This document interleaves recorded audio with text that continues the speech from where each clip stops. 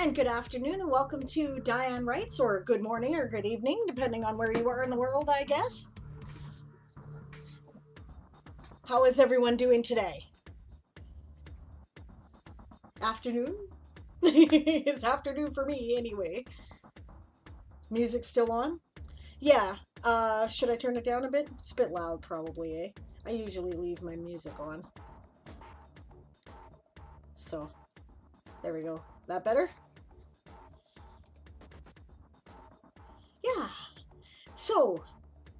Prep. That's what we're talking about today.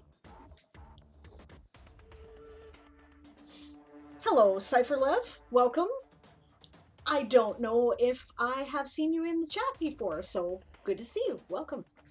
And of course, all the usual suspects are here, which is awesome. Hello, Secondhand Samurai, Gift of Gabby, Dazzlecat, Siobhan the Writer.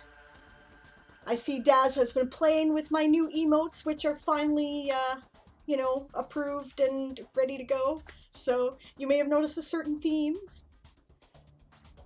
The flag looks better with shades. I agree. That's awesome. Oh, Barbarossa's here. Hello, Kit is here. Dillian is here. Excellent. With his burbs. Right, right, right. Yes. That is what we're going to be doing today. But we're also going to be talking about nano prep. And, um, all right, so I guess I'll do the announcement here. And I'll also do it at the end of the stream because we tend to get people coming in and out over the course of three hours, which makes sense. Okay, so a couple of us uh, Anvilite Streamer Core writers have been talking about how we've got a special event planned for NaNoWriMo. And it's not something that all of the Anvilite writers are doing, but a lot of us are. And uh, I'm very excited about it. And we're going to actually announce what it is and explain the details on Friday.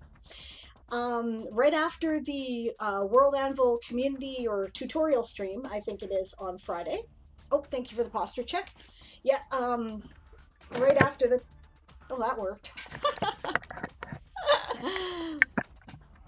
Can't quite reach that high. Okay, sorry about my camera here. Did not work. Ah. Stupid thing. Yeah, okay. So after the um, tutorial stream on Friday from World Anvil, uh, we're going to do a special one hour stream right before Ask an Old GM. So that'll be noon Pacific, whatever time that is in your time zone. Uh, it uh, should be on the calendar if it isn't already at the ASC site. So I will, um, I'll just put that in there right? Um, the main calendar is on the main page. There's also, if you scroll down on the left-hand side, there's a heading called Events. You click on that, it'll take you to a couple of uh, different uh, access to event calendars, and one of them is NaNoWriMo, and it should be on that calendar as well, right? And we will announce the, uh, it's, well, it's sort of a competition. It's not really a competition. So you don't have to be all like, oh, I don't like competitions. They're intimidating. They scare me. It's all for fun. Right. So, and uh, this is like brand new that uh, this slot opened up and it was suggested that we do this. So I hope to have some guest streamers from the Anvilite Streamer Core on there. We'll see if that works out. So, and I'll announce that again at the end of the stream. But that's the that's the plan. So don't miss that stream, guys. It's going to be cool yeah, it's good. I'm I'm very excited. It's gonna be fun. Barbarossa says, I'm so gosh darn prepped for this nano prep that I'm actually lying and not prepped at all is scary. Siobhan whistles innocently. Yes, Siobhan is one of our uh, one of the streamers who is joining us for this and the organizing of this. Anyone can participate, by the way. If you are writing for National Novel Writing Month or even you just want to work on your writing for the month, you can participate right? So, yes, it will be cool. Dillian says, "Oh no, more things to do on top of the of the to her thousand things to do." Yes, yes, I I have a problem with that. And then, to be fair, sometimes I go ah, and I just blow up, and then whatever it is that is least convenient gets kicked from the calendar. I've got to be honest here. yeah, sort of like a three legged race. But I have help with this, so it's okay because when you have help, things are actually easier. So it's good. Friday is an ASC takeover on the World Anvil stream. See, I wasn't sure if I was allowed to say anything about this uh, secondhand. We will be introducing ASC events and Nano, and Shy thought it would be great to go into a great Nano stream. Can't wait for your game to be explained. Awesome. I'm very excited about it too. I can't I can't wait. And I'm definitely not going to miss the World Anvil stream. I know that uh, I believe that uh, Shy and Hefe are probably going to be appearing on it because Shy is our organizer, right? And uh, uh, Hefe is our events coordinator. So it will be awesome. Barbarossa has praise for Siobhan. Darth Nicholas is here! Darth Nicholas is here. Hello. Welcome. Okay, so with that announcement, uh, and again, like I said, I'll mention it at the end of the stream again. Um, let's talk Nano Prep. Nano Prep Week uh, just a second here. I'll show you the ASC calendar on this because Hefe is a genius and has laid this out in a way that you can clearly see what is going on. So, okay, main screen. Here we go. We're on the ASC site. So, like I was talking about, this is the main page. Go down here, you go to events. Then here's NaNoWriMo.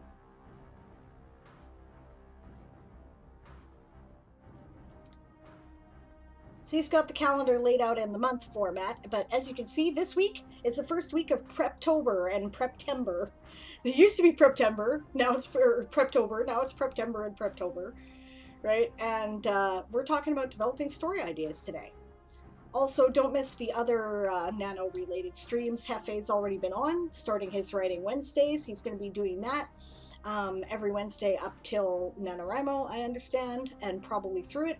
And Siobhan will be on later tonight or tomorrow morning. Well, tomorrow morning, regardless. Tomorrow morning, if you're in the Pacific time zone. Tomorrow afternoon, if you're in Europe. And tomorrow evening, I believe, if you're in, uh, you know, points further east. So, right, um, yes, but story ideas. That's what we're talking about today. So, the question is, right, where do story ideas come from? Um, how do you develop a story idea into a full fledged story, right? And how do you know if your story idea is a good one? I know that everyone is kind of thinking about that. What? I don't have a hail hydrate? Oh, I'm sorry. Hail hydrate. Danny is here! Sarah is here! Hello, welcome! Alright, so uh, actually, since Darth and Danny are both here, and I don't know if they saw the announcement at the beginning, we're going to announce our event on Friday at 12, uh, 12 o'clock noon Pacific time after the World Anvil stream. Just, uh, just FYI. And if any of you guys who are you know part of the event and they are they're uh, they're joining me right uh, want to be uh, guests on my stream that day then i'd love to have you. And you know so let me know. Right it's only going to be for an hour it's going to run before aaron's regular ask an old gm stream which starts at 1 p.m pacific.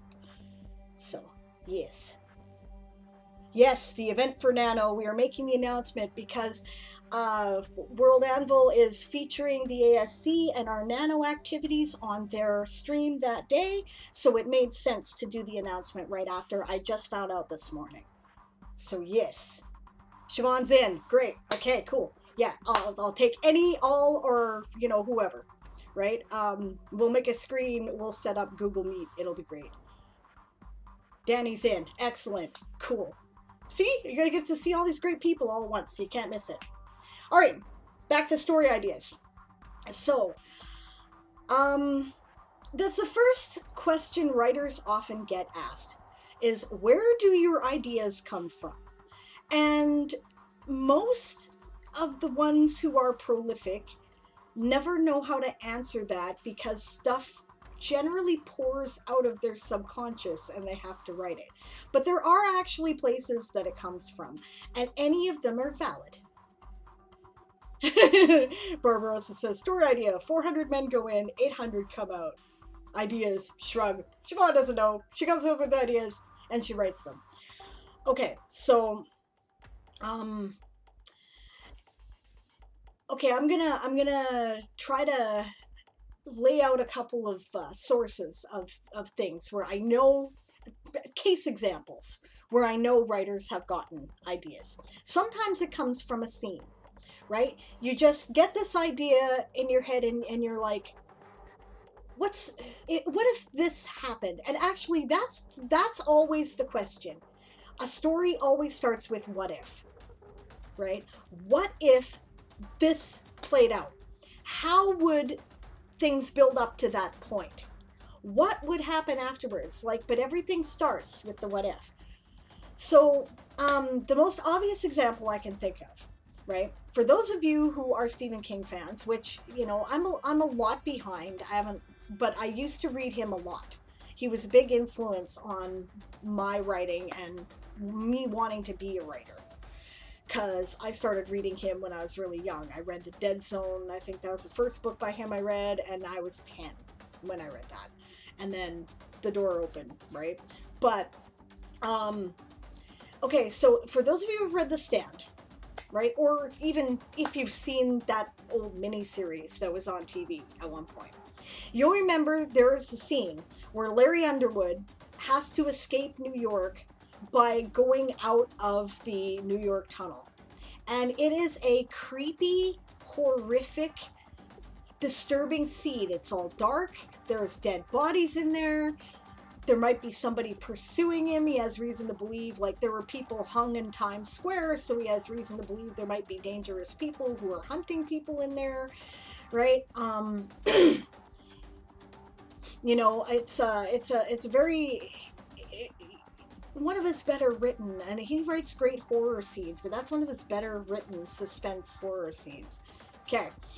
Um, so years later, I was reading a book called Earth Abides by, I want to say George Stewart. I hope I'm right with that. Stewart's the last name, I remember that in particular. And this is considered a classic of science fiction and in particular of post-apocalyptic fiction.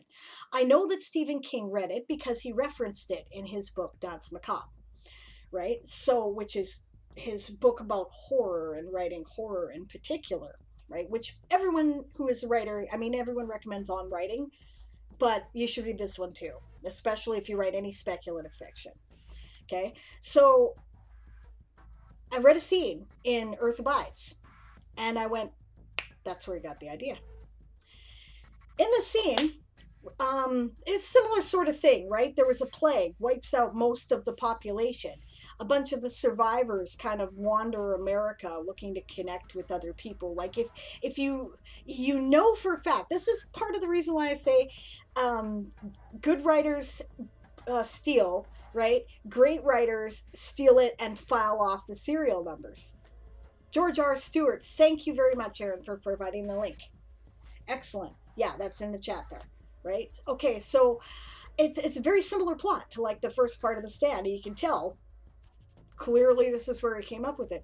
But there's a scene where the protagonist is he's passing by New York, right? He's not in New York. And he looks into the New York tunnel and he's like, I should go check it out. And then he gets like to the mouth of the tunnel and he goes, Oh, but you know, that's probably crammed. I mean, I'm seeing all these traffic jams. It's probably full of dead bodies. There's, you know, it's going to be dark because, you know, all the lights have gone out. I don't know who's going to be in there. It's going to take hours to get through it. Yeah, I don't think I'm going in there. And to me, I knew immediately that Stephen King had the idea because I know how a writer's brain works, where he was reading that scene and he went, but what if he did? So there's one way that story ideas get started. I'm going to check out the chat while I've been chatting here, just in case I've missed anything important. Natalia's here. Welcome. Barbarossa says, story idea, necromancer whose dream is to raise a family. I like that idea very much. I think that would, that's probably a better short story than a novel. And I would definitely read that. I would read the shit out of that. And I even know places where that could be published and it would probably go over really well. Yeah. You write that one and I will I will tell you where to submit it. Okay. Aaron Reed, the Millennium Falcon was inspired by a hamburger George was eating for lunch. Yep, fact. Absolutely. I've heard that in like three different documentaries. They're coming up with ideas for, you know, shapes of ships. Right? I loved The Stand, says Natalia. Me too. One of my favorite books. See Barbarossa, what did I say yesterday during Craig's stream, says Siobhan. Yeah. Um, I don't know what you said. So, okay. Sarah says, I'm currently working on narrowing down some ideas and then plotting the first draft before October 31st, 11.59 p.m. Since it takes me a month or so to prep, I'm starting these projects right now, actually. Cool. I don't normally prep this early, to be honest with you, right? But I'm really hyped this year because of all the stuff that people have been talking about. So I'm getting into it. Like, I... My plan this year is to finish the third novel the, uh, the draft of the, of the third novel in the Toy Soldier Saga series. In order to do that, I have to lay out a bunch of stuff, and that um, editing and timeline are the things that I've been working on. You guys have been seeing that. I'm going to do it again today, right? We're going to work on that. But um, yeah, I figure I do need actually this month in order to get that organized in such a way that I can just pour out the rest of the damn book right? And whatever's left at the time, I'm going to finish the Weird West story I'm working on. That's my plan anyway, right? But usually I never know what I'm writing until at least the 28th of October. I, I'm like, okay, I'm going to do Nano, and I don't even sign up until then. Don't look at the forums, don't do any of this stuff. Right. But also this year I'm officially a municipal liaison as opposed to an assistant, so they're giving me all the material and I just between it all I can't help but get excited, right? So um, Danny says, "Oh, 100%. What if this is my fun idea bringing method?" Absolutely. I have more examples. I will get there. Danny says, actually, one of the topics on my Nano Prep this month. Cool. Then I hope to make your streams. Your streams are so early, though I have trouble making them, but I will really try. Um, mine start, or most of my ideas start with, you know what would be funny? That's what Cypher Love has to say. Yeah, actually, comedy writers, that's what they start with. Absolutely. You know, this might be funny. Right? Um, Aaron Reese says mine start with I had a dream. Yes.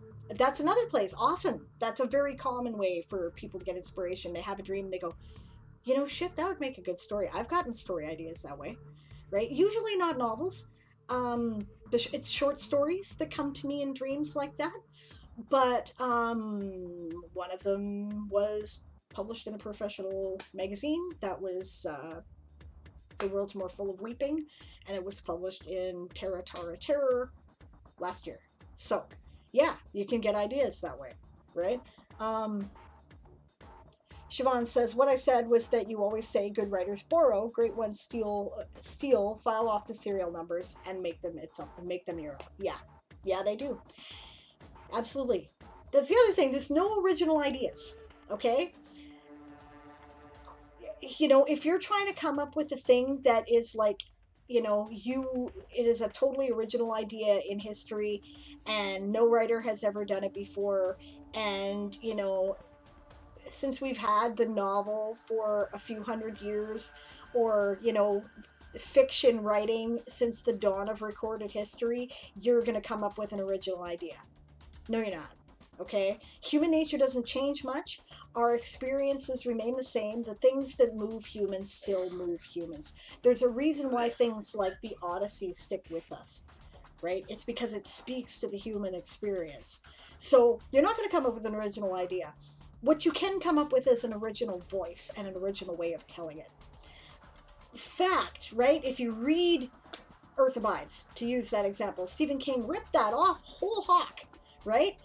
Absolutely. But it's a totally different story because his voice is different and his, you know, where he went from there is different. For him, that was the beginning, not the whole story, right? So, you know, you, you can you can do it. Um, uh, he does it a lot actually. Um, let's see, like he takes a lot of classic science fiction themes, makes them, you know, a little bit more horrific, and then it makes it into the mainstream, right? You think that uh, psychic power kids blasting the shit out of everything was original to Stephen King?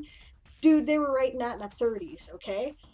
So, um, uh, Salem's Lot is basically um, I Am Legend in a small New England town. Okay. Gift to Gabby says, My character Coma, Coma? Okay, is a traveling priestess, a forge master, and a wandering adventurer. She is stopping at a small town to stock up when she hears rumors of a temple needing help. She goes to see what's up. She arrives as a young priestess fighting the older clergy that she can help reclaim the abandoned part of its sister temple. Uh, Coma butts in and says she'll help.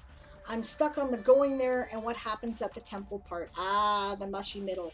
Okay, we're going to work on that next week, right? Because next week we're going to talk about uh, developing your plot, I believe. I'm just going to double check the calendar to make sure that is correct. No, not next week, the week after. Um, so, uh, the, what is it?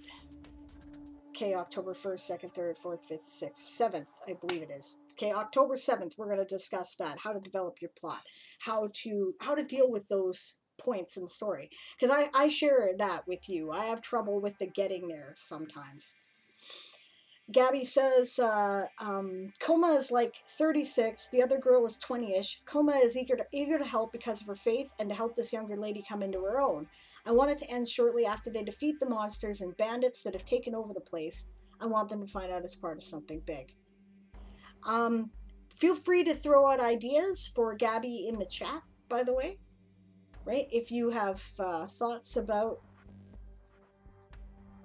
about that in particular.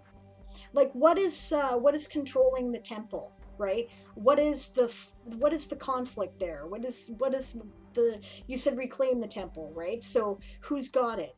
And why do they, you know, have like what are why do these other people have it? Or is it like full of monsters? Is it a rival uh, religion? Like, yeah, right? Um, was it taken over by secular authorities to raid the treasury? You know, that happened a lot in history.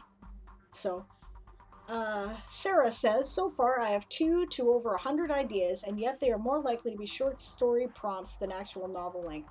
And that's okay, right? Um, the story is as long as the story needs to be.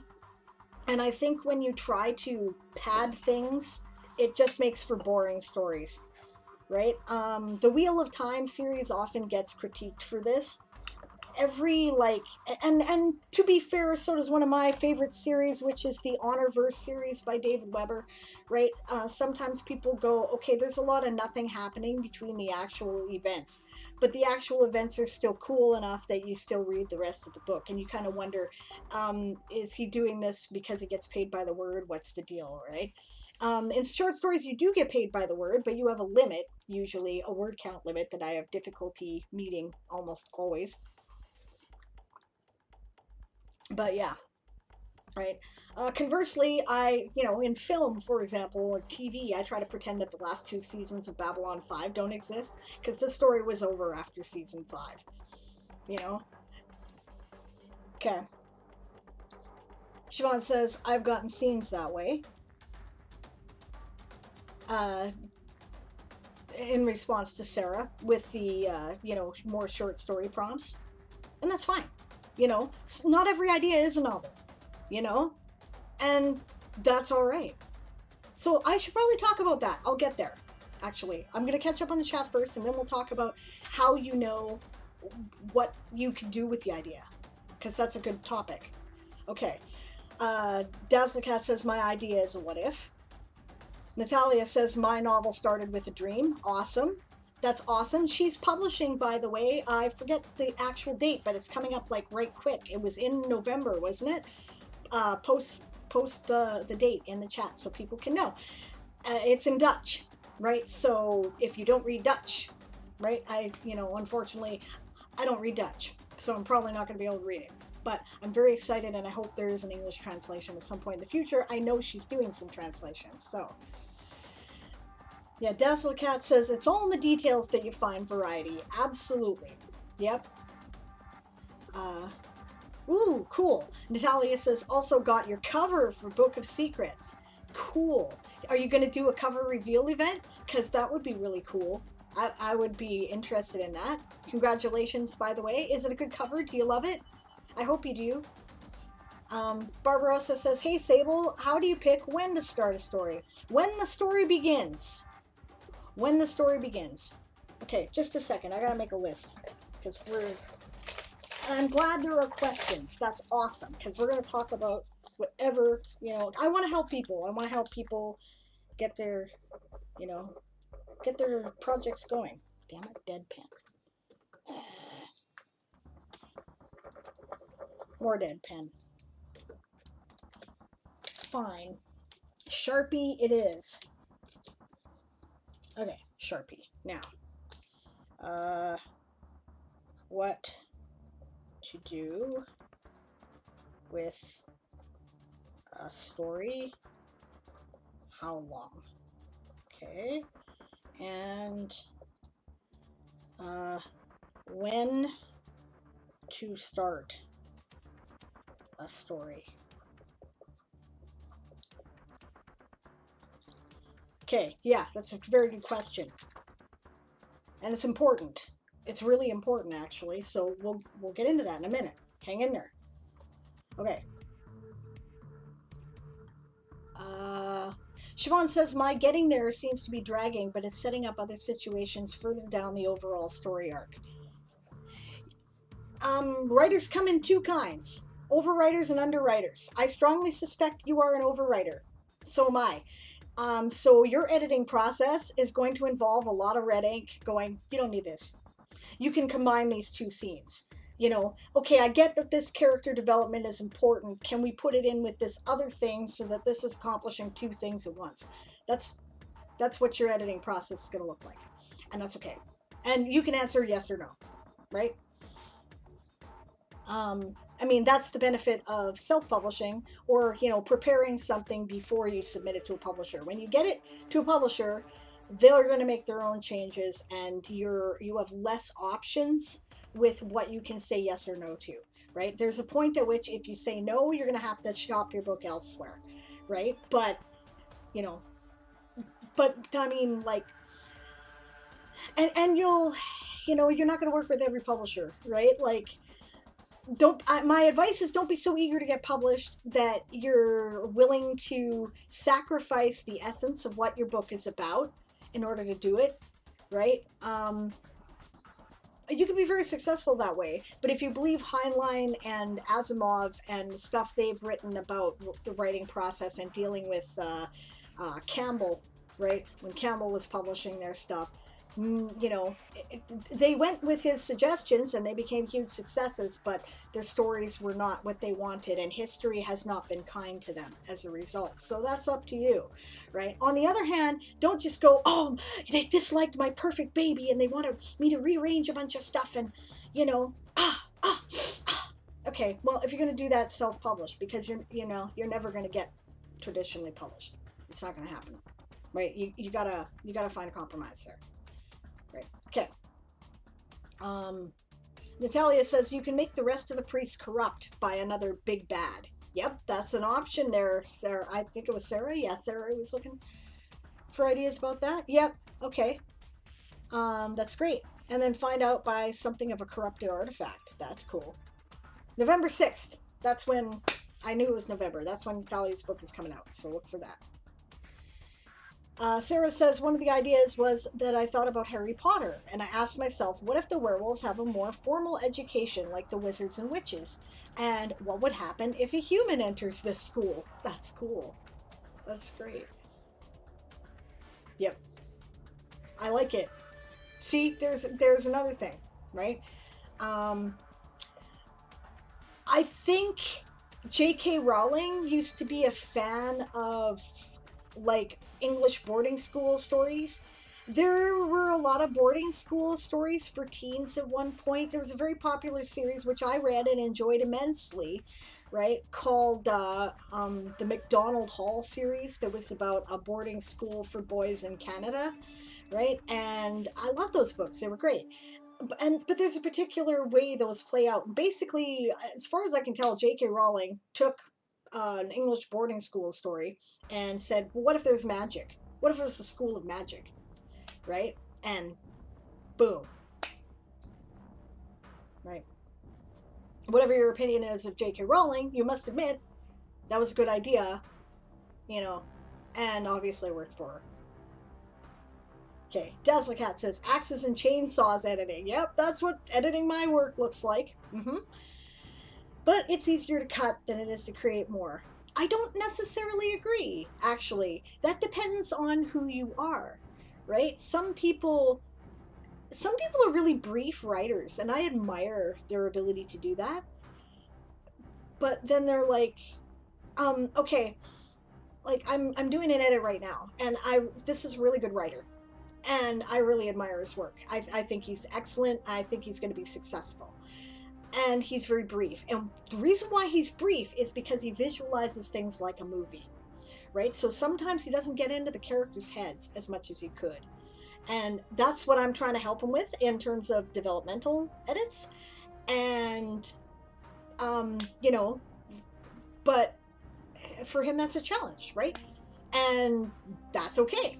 You know, that's okay, right? For me, it's like, okay, do we really need to know the, the backstory of every fucking tree branch, right?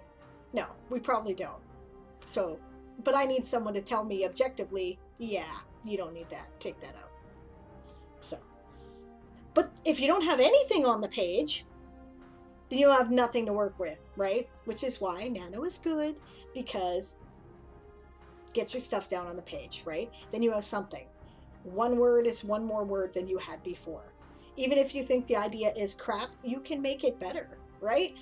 But if you don't have anything down on the page to make better, you're never going to do it right? And so yeah that's that's what nano's all about. Word vomit your story and then you can you know take the chainsaws to it later. I always do. I always do. So Sean says, I'm aware my novel is going to get the hatchet during edits. Maybe not as bad as I fear, but it might yeah, I promised to do her first edit for her, you see, so, because she's my friend. So, um, yeah. Yeah. Probably not as bad as you think, honestly. Okay. Cypher Lev says, uh, Ma Malory Towers, St. Clare's, um, Enid Blyton wrote dozens of them. Siobhan says, Sable, why? Give me ideas. Telian says, mine will probably need a chainsaw. Yep, it's okay. It's okay to need a chainsaw. I took uh, the first chainsaw I took to my first draft of A Few Good Elves, the first book in the Toy Soldier Saga series, which is the series I am working on right now. I I realized it was huge. Like it was over 170,000 words, and I'm like, okay, I need to focus maybe more on my protagonist, and then I can take out all the side stuff with the other characters. You know, but I didn't throw it out. I put it aside. I, I'm like, this is still good stuff. I can do something with this. Maybe it'll appear later. And then it became a novella because that was about half of it written, and then I caught up to what I knew would happen later. And that was actually uh, published in a limited edition book bundle which is no longer available, which is good because it's got huge spoilers for the rest of the series. So, yeah. Natalia says, good ideas make for good stories. Bad ideas can lead to bestsellers. good ideas can also lead to bestsellers. Let's be fair, right?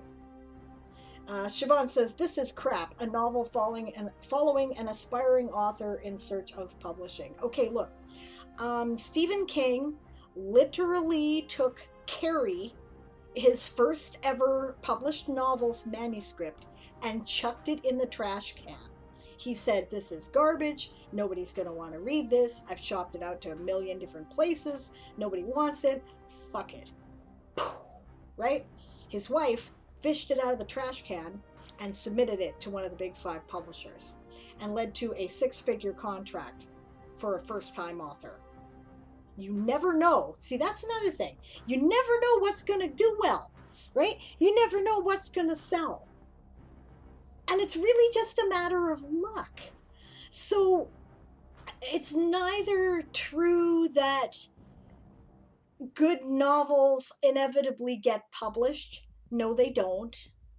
Or that good novels will inevitably be a success. No, you have to have luck. Right? But it also isn't true that just because something is popular, that it's crap. I have seen a lot of popular crap, right? And it feels like that sometimes, right? But honestly, the the books that sell the best are biographies of people who are already famous.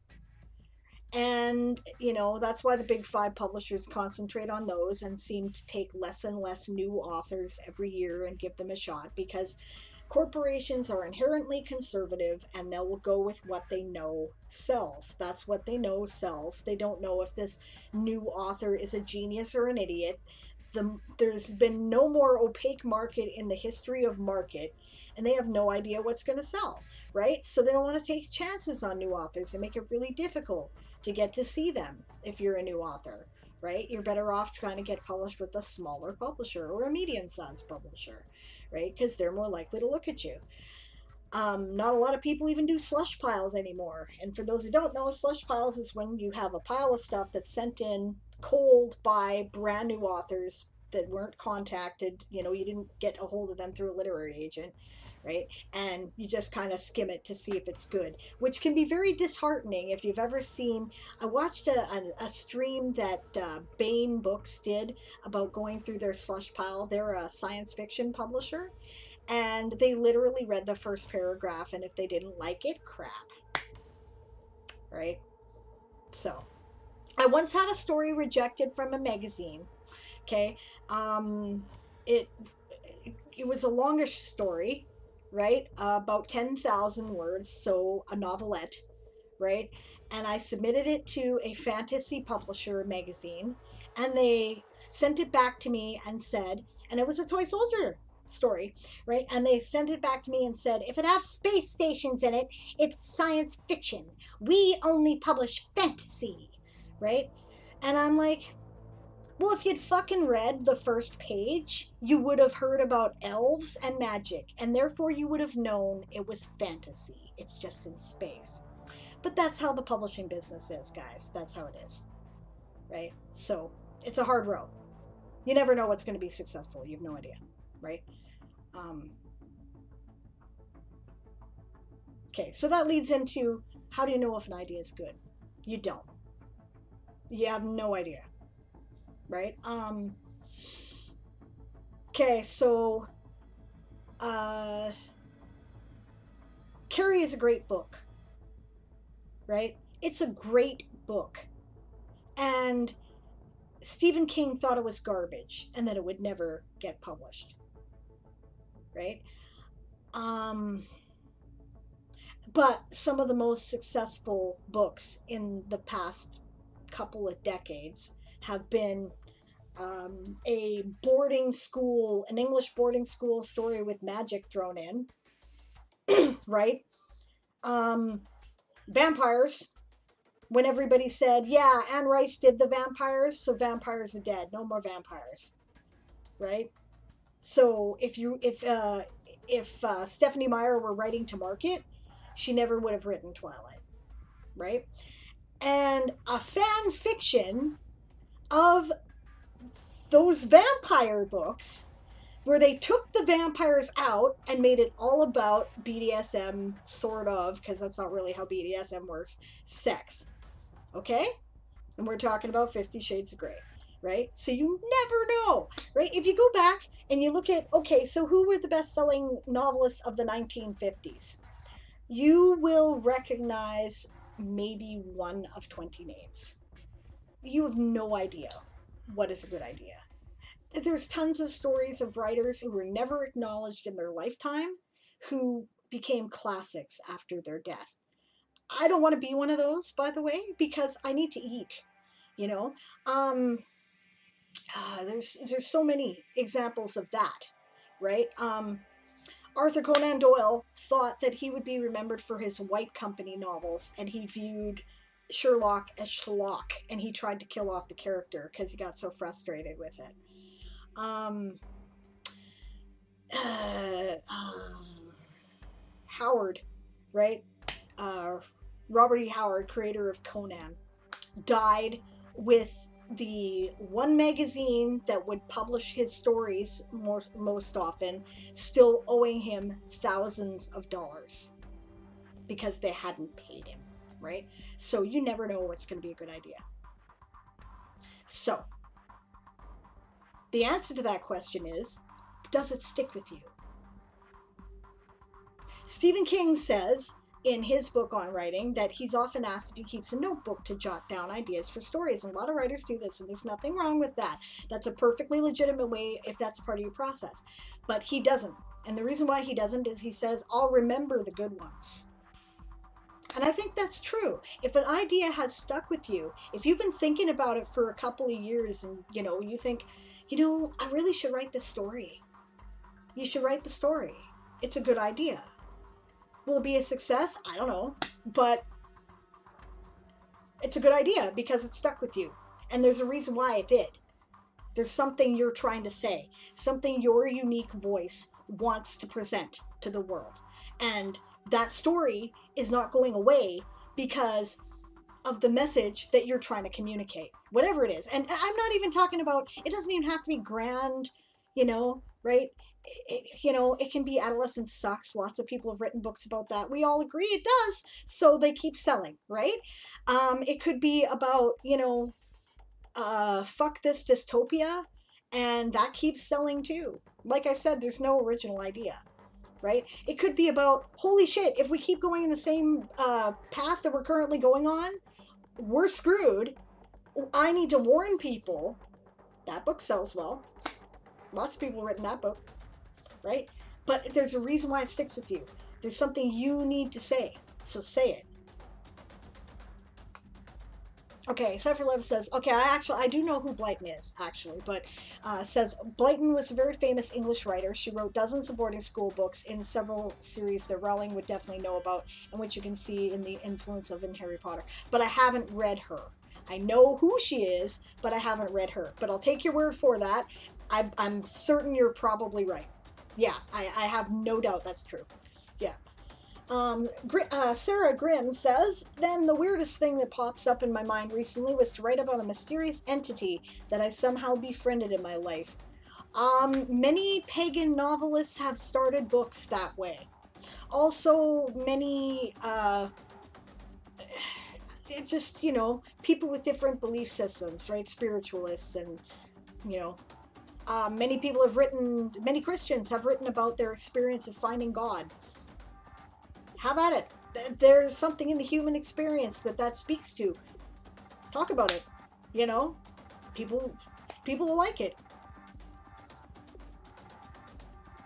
Danny, BDSM. Mm-hmm. Yeah.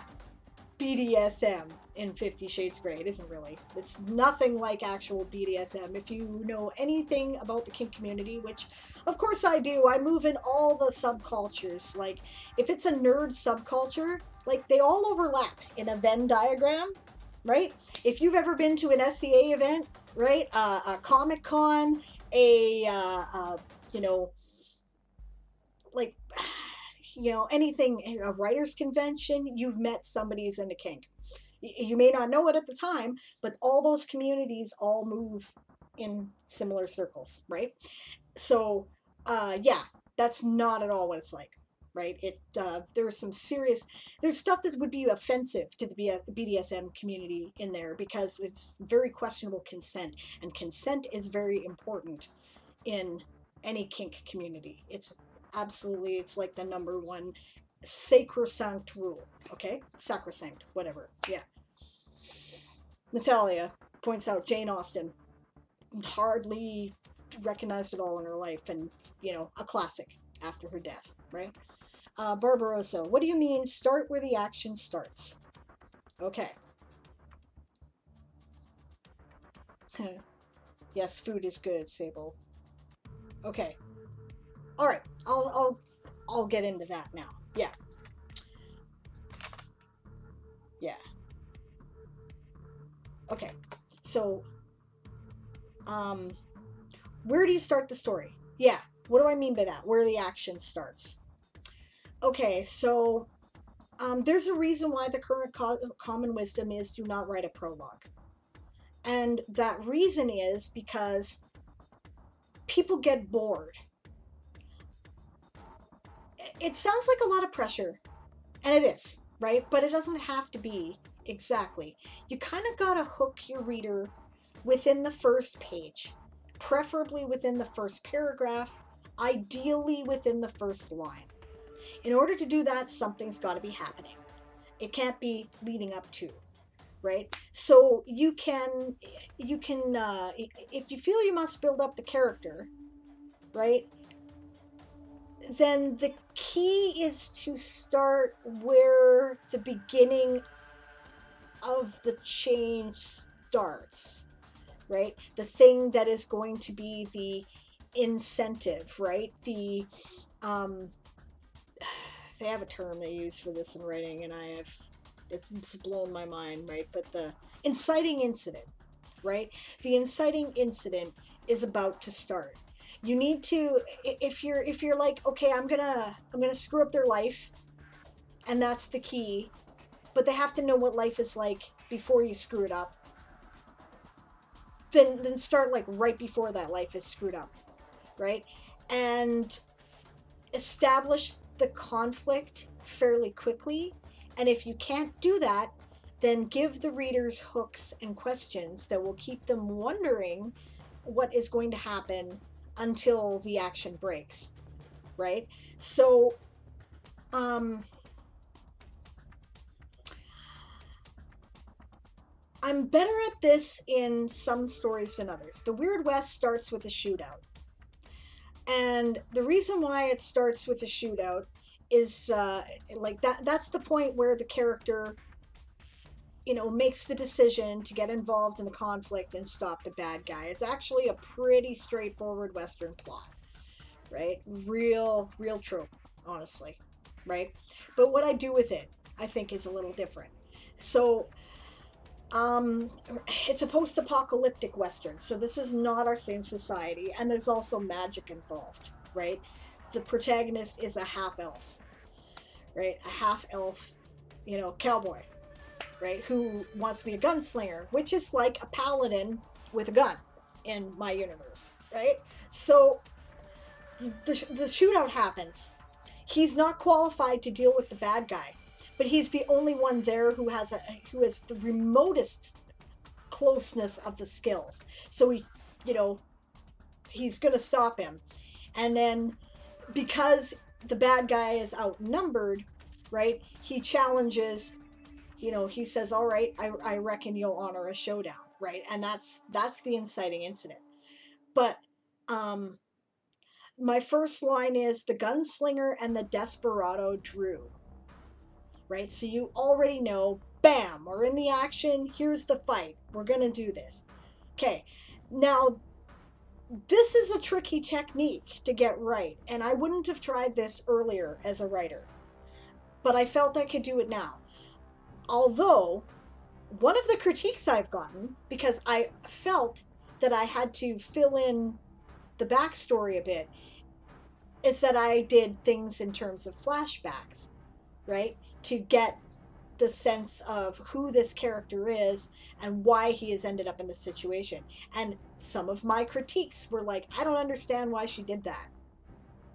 So, right? I didn't do it perfectly, right? It's uh, it's a little awkward, and that's okay, right? But but it was enough that I got people reading the book. My reviews have generally been pretty good. Okay, so um, Toy Soldier is a little different, right? Um, there's a lot of stuff. Like, I actually tried to cut out a bunch of the book and just start where the action started. And then I got a review back from uh, a friend of mine who was doing a beta read edit. And he was like, I don't like your character. I don't like your situation, you know, right? because he didn't understand it at all. It sounded like everything was going really swimming for him, right?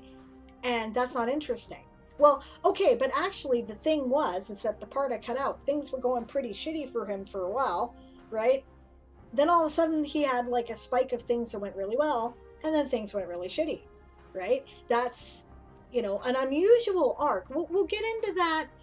I think I might be able to cover that on the developing your plot, and if not, I will cover it in the last week of October before Nano because there's nothing specifically Preptober scheduled, right? But I'll talk about that. There's like an arc, a line, the way stories work, and you've all seen this, you know, like this, like this, like this, building action, climax, resolution. Not all stories work that way, actually, and not all uh, stories that stick with people work that way. So, uh, Kurt Vonnegut, I think it was, who had like different uh, graphs of the way stories go and what tends to stick. And I will bone up on that material, remind myself of it, and we'll cover it in the last week of October if I don't get a chance before then.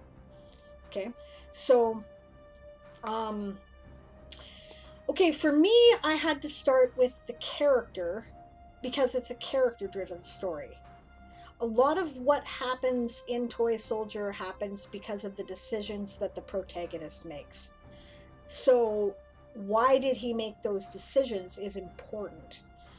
So, I started instead with um, the things that drove him to make those decisions right? The things that made him who he was. So i had to start much earlier. I had to start when he was still a kid right um, do i know if this is successful no i have no idea right and um, you know i hope my beta readers will tell me right because i'm still working on it Alright, we have a raid! Welcome, Time Pool! The voices have told you to come and invade me. Awesome. That's great. Good to see you.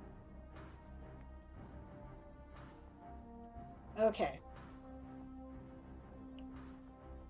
Siobhan says, My story has stuck with me and has developed more without me concentrating on it. Sometimes that happens. Yeah, you need to give your, your, uh... Okay, writing is dreaming cr- creating is dreaming, so you need to give it space to dream, right? You have to daydream or you have to dream at night. If you're constantly busy with other things and you don't give yourself room to dream, you never will create the ideas to write. So that's that's how you create the soup that that stories breed in, right? The the I don't know. It sounds horrible, but I'm the idea I'm thinking of is like, you know, organic swamp kind of deal, right? And, you know, things bubbling and brewing under the surface and then, you know, life comes out of that, right? Um, it's, you know, you, you need to give it places to breed. So, yeah. Um, Sarah says, but it's not really religious. Um, I'm gonna I'm gonna read Sarah's comments because they're in a sequence right? What I mean is just a vague idea of a psychological type of fiction, yet it is rather confusing to describe the unknown. Kind of like Lovecraftian horror, but the supernatural is toned down into something imaginary yet traumatic. That's cool. So there's like creepy shit in the old temple, and you know, might be Eldritch horrors, and we don't know. That's awesome. Should talk to Time Pool about Eldritch Cores. Yeah.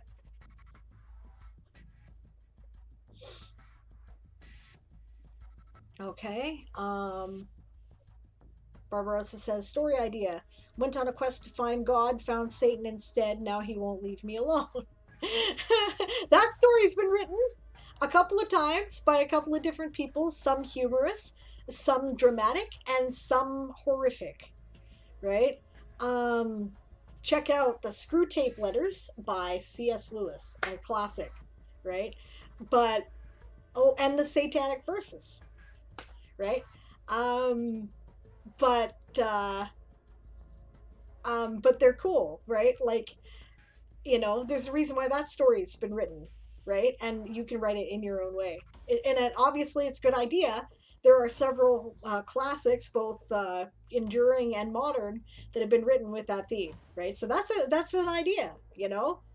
If you've got a new take on something that has done well, right? They call that writing to market, and there's nothing wrong with that. That's okay, right? If you like hey, you know, I take all the science fiction tr- and fantasy tropes and I put them together in genre mashups and I write them. That's what I do, right? Because I love that shit. And I think it's awesome. And yeah, I know it's been done a million times, but nobody's done it my way. I know they haven't, right? I've got something new to add. So I'm going to add it. But ultimately, if you go through and you, you know, put up TV tropes while you're reading any one of my books or stories and just start checking shit off because it's there, right? It's been done, and that's okay. That's okay because my way is new. As a matter of fact, my way is so new in some cases that I have trouble selling it because um, fantasy readers go westerns, blah, you know, and uh, you know, science fiction readers go magic, blah you know, and they don't give it a shot. Finding your market, or something we'll discuss in future topic. Um. Oh, good. Information exchange. That's excellent. The Devil and Max Devlin. Yeah, that was good. Yeah, I saw that was a movie. I saw that movie. That was a good movie.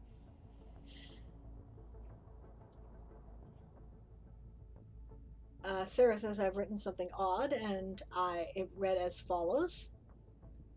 An author goddess is here. Hello and welcome. Awesome. Glad to see you. Story ideas. Yes, we're discussing about uh, where you get ideas, right? Um, and whether they're good. Mezzo9 is here. Good to see you. Welcome. I haven't seen you in a while. I'm glad to see you. Um, most of what Terry Pratchett wrote was his take on things other people had already written, and he still got knighted for services to English literature. True story. Also, Douglas Adams made his career in exactly the same way, doing the exact same thing, right? So, you know, I mean, okay, actually, I don't know. I'm going to look it up. Which one was published first, right? Was it uh, Hitchhiker's Guide to the Galaxy? I'm going to check that out right? Or was it, um, I think The Color of Magic was the first uh, Discworld, right? So, ah, Kahuna has come to raid us. Aloha, Kahuna. Welcome. And all the Kahuna, Kahuna crew. Good to see you. Thank you very much for the raid. That's awesome. Yes. Okay, so The Hitchhiker's Guide to the Galaxy was first published in 1979. And somebody else is answering me in the chat. Color Magic was the first one. Yes, I was correct. Okay. The Color of Magic. Ha! 1983. Okay, so there there's a wonderful example of what I'm talking about about just because it's been done doesn't mean you can't do it in your own unique way, right? The Hitchhiker's Guide to the Galaxy was already a thing, right? So a a you know satirical take on speculative fiction that was very successful was already a thing when Terry Pratchett put pen to the first Discworld book. And he still had a different way, right? He had his own voice. Everybody who's read Terry Pratchett knows that it's the way he tells the story that makes the damn book. And it's amazing, right? And he, you know, he's considered, he was knighted for his services to English literature and awarded a metric shit ton of awards, right? Um, he uh, got a, uh, what is the one? The uh, Soul, no, not the Solstice Award. There's a Lifetime Achievement Award. It's not the grandmaster because you have to be alive to get that at the, uh, uh, um, you know, Nebula's Grandmasters, right? Um, but he got uh, you know like their i don't remember what their lifetime achievement was just but but he got that right and the world fantasy award numerous times and on and on and he deserved every single damn one of those awards because he was a fucking genius okay right but it's a good example hey Aegon, good to see you and thank you for that by the way Yeah, Dirk Gently was also an Adams series. Yep, correct. I'm not as fond of that, but you know, it was good. I just don't like it as much as I like Hitchhiker's Guide. But eh, that's okay. Everybody's got their own their own thing, and it was good. I agree. Um, Aegon says Terry was a sad lose. I love the Discworld series, no doubt. Yep. Also good omens. Yep. Uh, Sarah's lines This entity takes hundreds, if not thousands, of forms, yet I couldn't see it. However, I could hear their voice, and surprisingly enough, I felt that comfort from the voice than the rash, cold hearted voices of others in my life. Neat. It was a take on Sherlock Holmes. Okay, cool. Yeah, I, I am aware. I know what it is. I just haven't read it uh, like fully yet. I tried to read the first book. I couldn't get into it. Then the library wanted the book back. So, but that's okay. You know, everybody's got their own taste. Okay. So, what to do if you don't have good story ideas? Like if you're like, I don't know, do you know, I I, I want to write, but I don't know what I want to write. What you need to do is give yourself a place in which the story to breed. I touched on this briefly, but you need to take time to allow yourself to dream, right? And that might, I mean, however, however you do that, maybe lots of writers take long drives.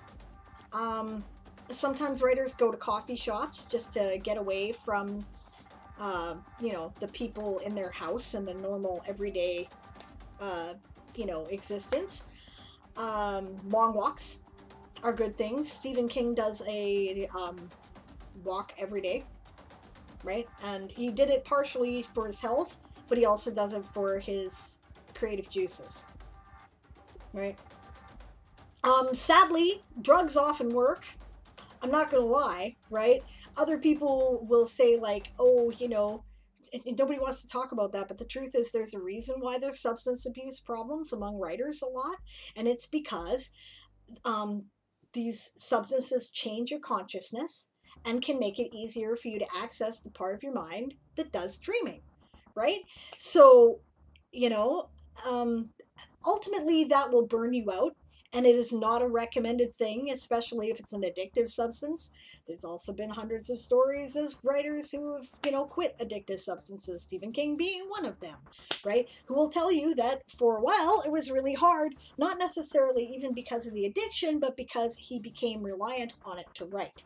So I highly recommend you use other methods, but you can do that. It does work. You know, it's going to kill you, but you know, there's a reason. Um, yeah, what to do? Ask me. I got a million, says says author goddess. Yes, because uh, Sarah Berman gives herself time to dream, and things, you know, things boil out of her subconscious. She's got stuff to say.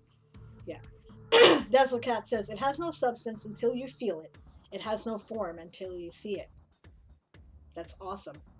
Yeah, that's a very cool uh, start there, Sarah. I don't know if I said that in particular. i you've got some grammatical mistakes that need some work, but I, I totally get the feel, and you're right. That's very Lovecraftian, and it's neat. Yeah. Natalia says, I need to give my pillow and cat some love. Right, okay. Sarah says, reality is more of a cold than a sheer warmth of the unknown depths of the mind. This entity, who was later called Lurie, would linger so close to my ears, yet I could not help but relate to this entity. Neat. Yeah. See you, Natalia. Thanks for joining us. Oh, and Dazzle Cat's off too? Oh, no. Okay, no. Okay. Cypher Lev says, coffee! Most writers that I know have a very unhealthy relationship with coffee, myself included. Okay. Author Goddess says, I don't use drugs. I am a drug. Lick me.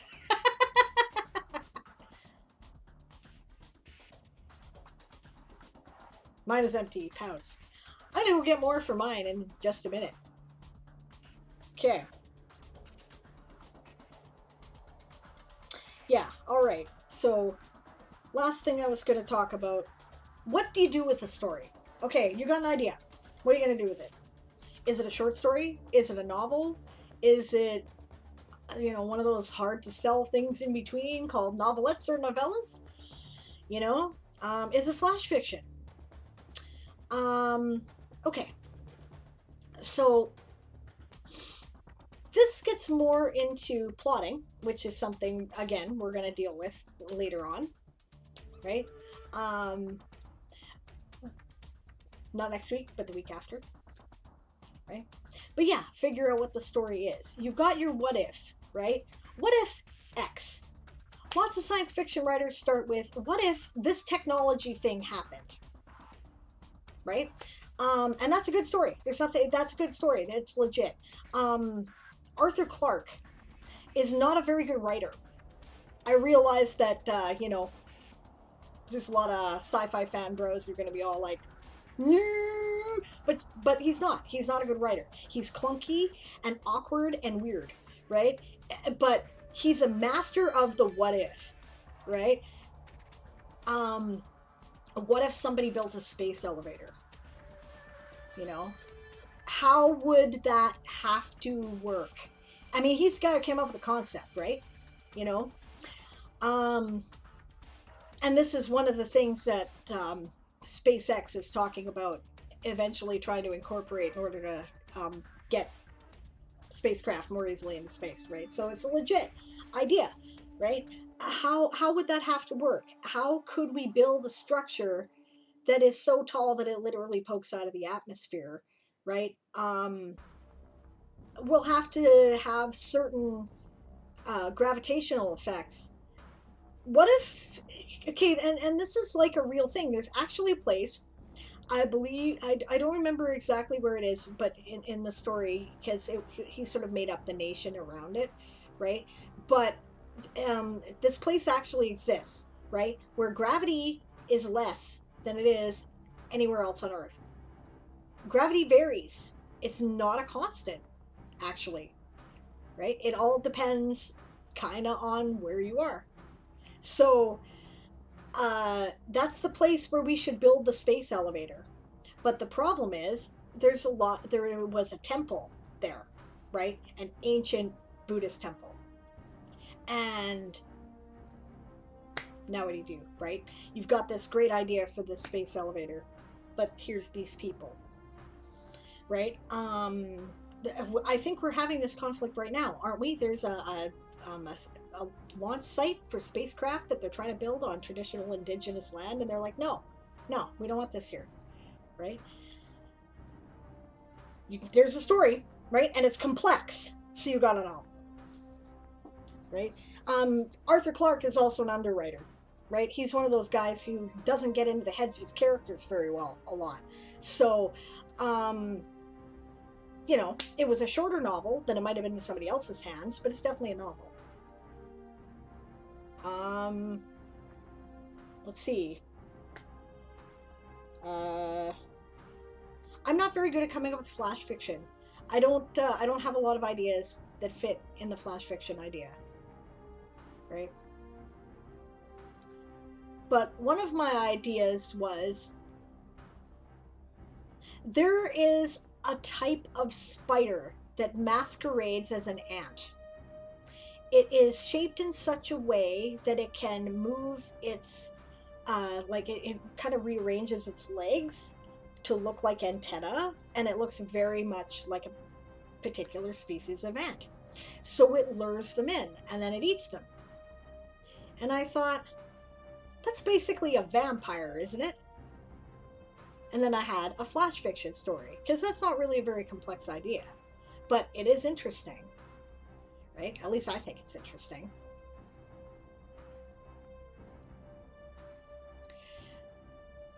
Yeah, certainly less harmful than my cigarettes, says Mezzo9. Well, I smoke too. I smoke cigars. So, yeah. Yeah. Gotta have a point, says Author Goddess. I agree. Characters are great. Scenes are great. A story has to have a plot. Yes yes, you have to have a point, right? There has to be a point to it, right? So Arthur Clarke's point was is the uh, importance of a space elevator like he asked a couple of questions. There were a couple of points right? One is how important is a space elevator right? This is a great idea. It will help us get to the stars. Getting to the stars is really important for humanity. How important uh you know how how important is this right? Does it does the importance of this trump the needs of faith? Does it trump personal needs right? Because the protagonist basically uh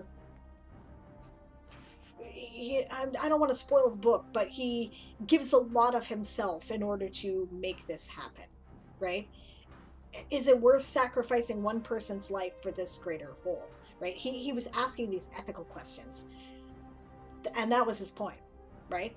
And then the process of how it was done were the was the mechanism by which that story was told right? So I, you know oh you know I've, I've got to now that i've mentioned this repeatedly i think i need to to remember what the title of the book was just a second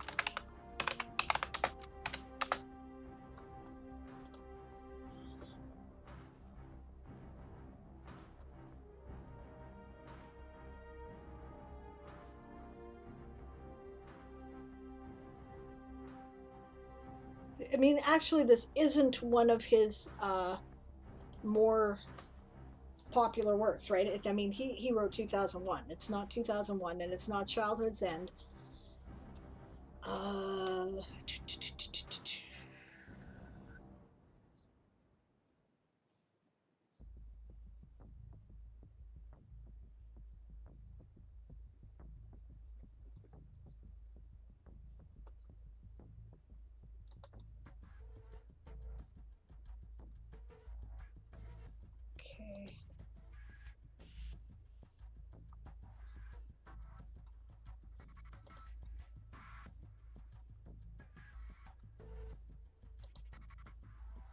Sorry, guys. I don't know. I can't remember which one it is right now, but damn, I mean, like...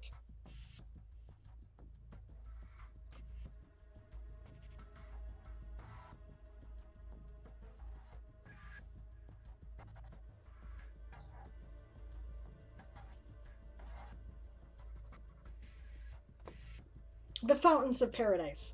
That's the book. The Fountains of Paradise by Arthur C. Clarke. That's the book I'm talking about. Okay. Uh, Danny says the snozberries taste like snozberries. Author Goddess says space elevator wouldn't work. Wind shearing and the issues of aligning orbit. Yeah, um, he had a MacGuffin, right? And his MacGuffin was a much more stable material that could hold its molecular capacity at a monofilament. That's kind of actually where the idea of monofilaments in uh, in uh, science fiction come from. Is that book as well, right? Yeah, we don't currently have the technology to do it based on the laws of physics as we know them, right? But it's something that people are actually working on. There are super dense materials that we're in the process of being able to create that actually probably could do this, right? Um, the question right now is to make them cheap enough that they'll handle the wind shear. And will it work based on the gravitational fluctuations? We still don't know that. That might not it might not, right? Even even with like wind shear we might be able to handle. We don't know about gravity right? So, but they're working on it, right? It's a thing they're they're looking into. Uh, Delian says, uh, let's just make a big trampoline and jump to space. Uh, that idea is kind of, you know, how rockets work. right? Siobhan says, I struggle with Clarke. His flow is wrong. Yeah, it, it's clunky, right? Author Goddess says, the shorter the story, the simpler it must be. Flash fic is just a poignant scene. But, uh, yeah, true, but a flash fiction is also a complete story in that it has a beginning, middle, and end and a point, right? Um, if it, I mean, it is just basically a pointed scene, but the scene has a point. It says something in, the, in that scene, which is why I'm not very good at it, really. I don't, I don't think I am anyway. Um, but, okay, so short stories, right? Um, know, okay, so flash fiction, right? Generally a thousand words or less. Okay, short story between a thousand and I don't know, 5,000 words, I think, which is why they always tell you, like, you know, 5,000 word limit when you're submitting to magazines, usually, right? Um, novelette, about 5,000 to 10,000 words. Novella, between 10 to 40,000 or 50,000 words. Novel starts at about 50,000 words. That is why that is the goal for National Novel Writing Month, right?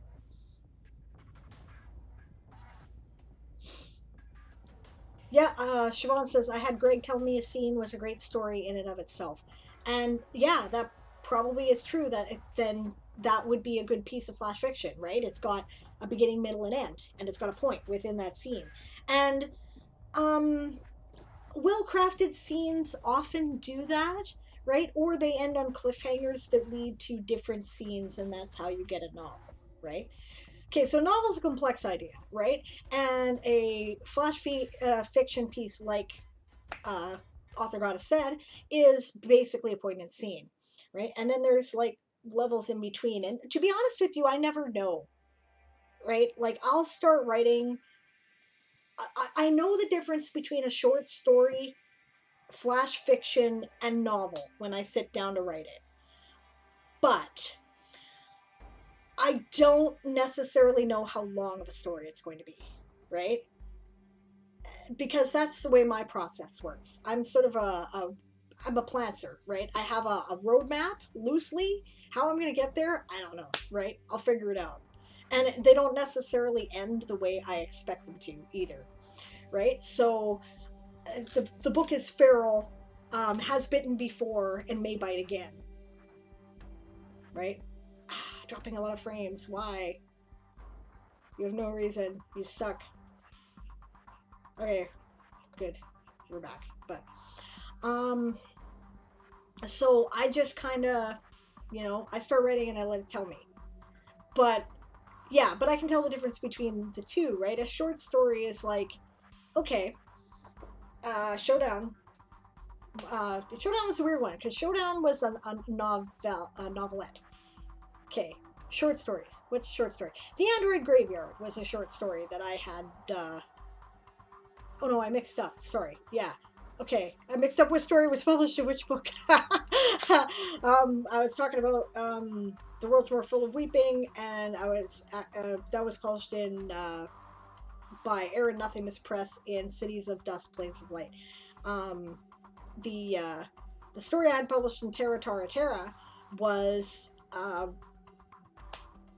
um, the Android Graveyard.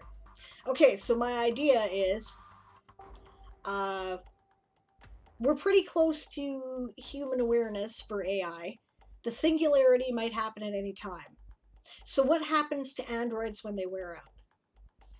Okay, and I knew that that was a short story because I was going to use it to say something about the human condition right? Um, I had recently had a, a loss in my life, and that played a role in the story. And I knew what I was trying to say. So, um, but I didn't know how long the story was going to be, right? Uh, turns out the story was about, I think, 3,800 words. So, you know, not as long as some, right? But longer than others. Uh,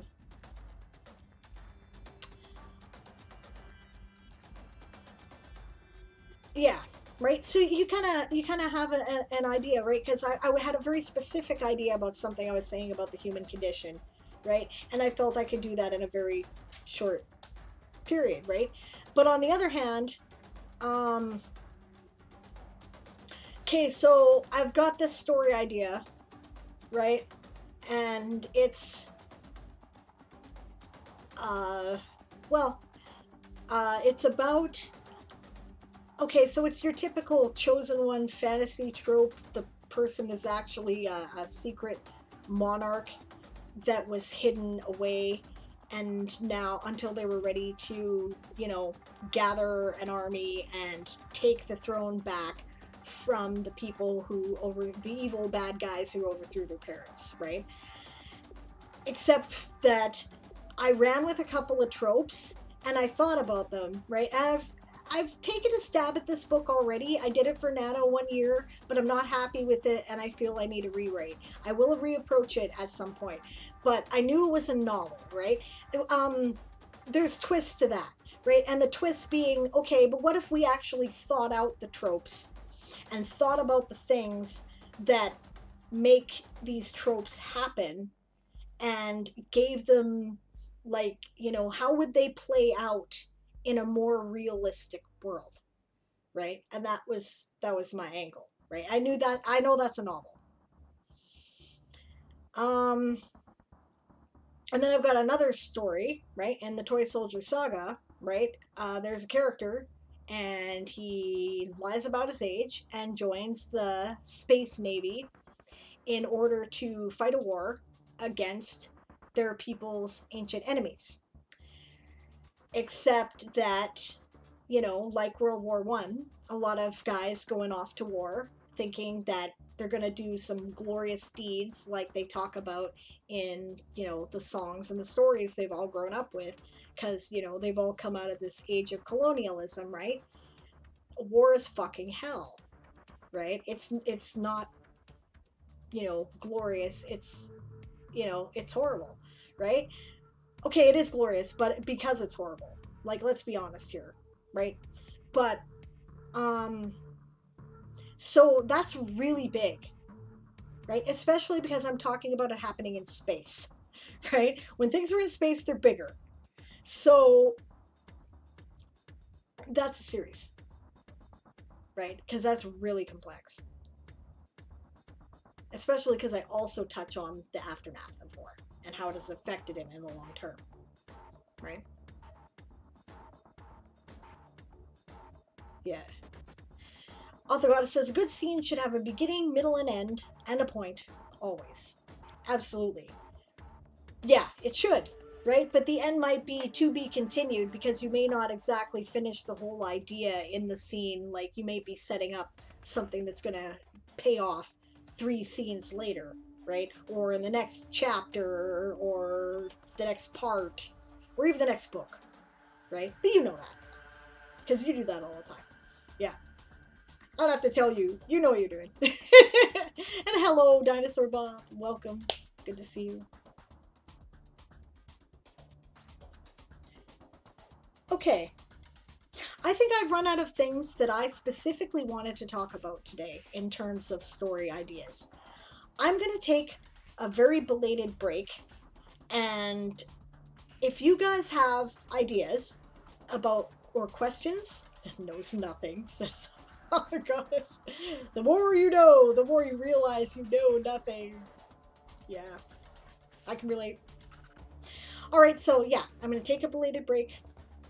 Um you know, if you guys think of anything else that you would like me to talk about in regards to story ideas, right? Or you have questions or thoughts, then or comments, you want to share more of your ideas, that's cool too. I'm I'm getting excited about some of the stuff you guys say you're to write. That's great.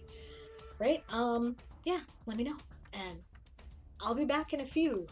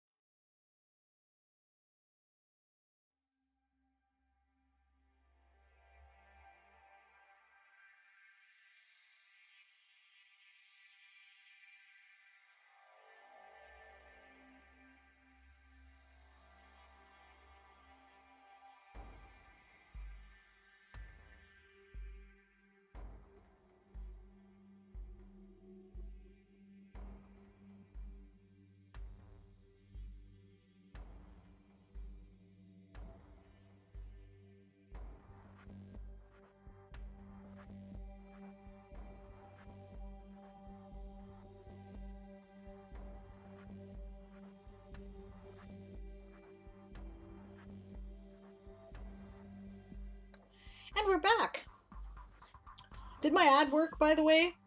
Twitch now says that they're going to start interrupting my stream or our streams if we haven't rolled ads on our own. So I figure I will pick times when I am on a break anyway. My ads ran. Okay, good. I can't tell on my stream manager. You'd think the damn thing would show me, right? But it doesn't. All right. Siobhan says, Sable, I would like to borrow one of your books if I may. Herbology, research for my novel and an article I'm planning on writing for World Anvil. An author goddess asks her, Are you looking for medicinal or magical herbology? I would ask the same question. I'm guessing probably both, and probably from a druidic perspective, right? I have a couple of books you might want to borrow. Come by. Yeah, of course. Oh my god, we got PIP for mid-roll ads now. Sweet, says Mezzanine. Cool. Yep. My story has, uh, Dazzlecat says, my story has, uh, as the main character, having gobs of magical stuff, but unable to freely use it without consequence. That's awesome. That's always fun. There should always be consequences. I like that sort of a monkey's paw kind of scenario. That's cool. Oh, is it still running the ad? While I'm talking? That's bullshit.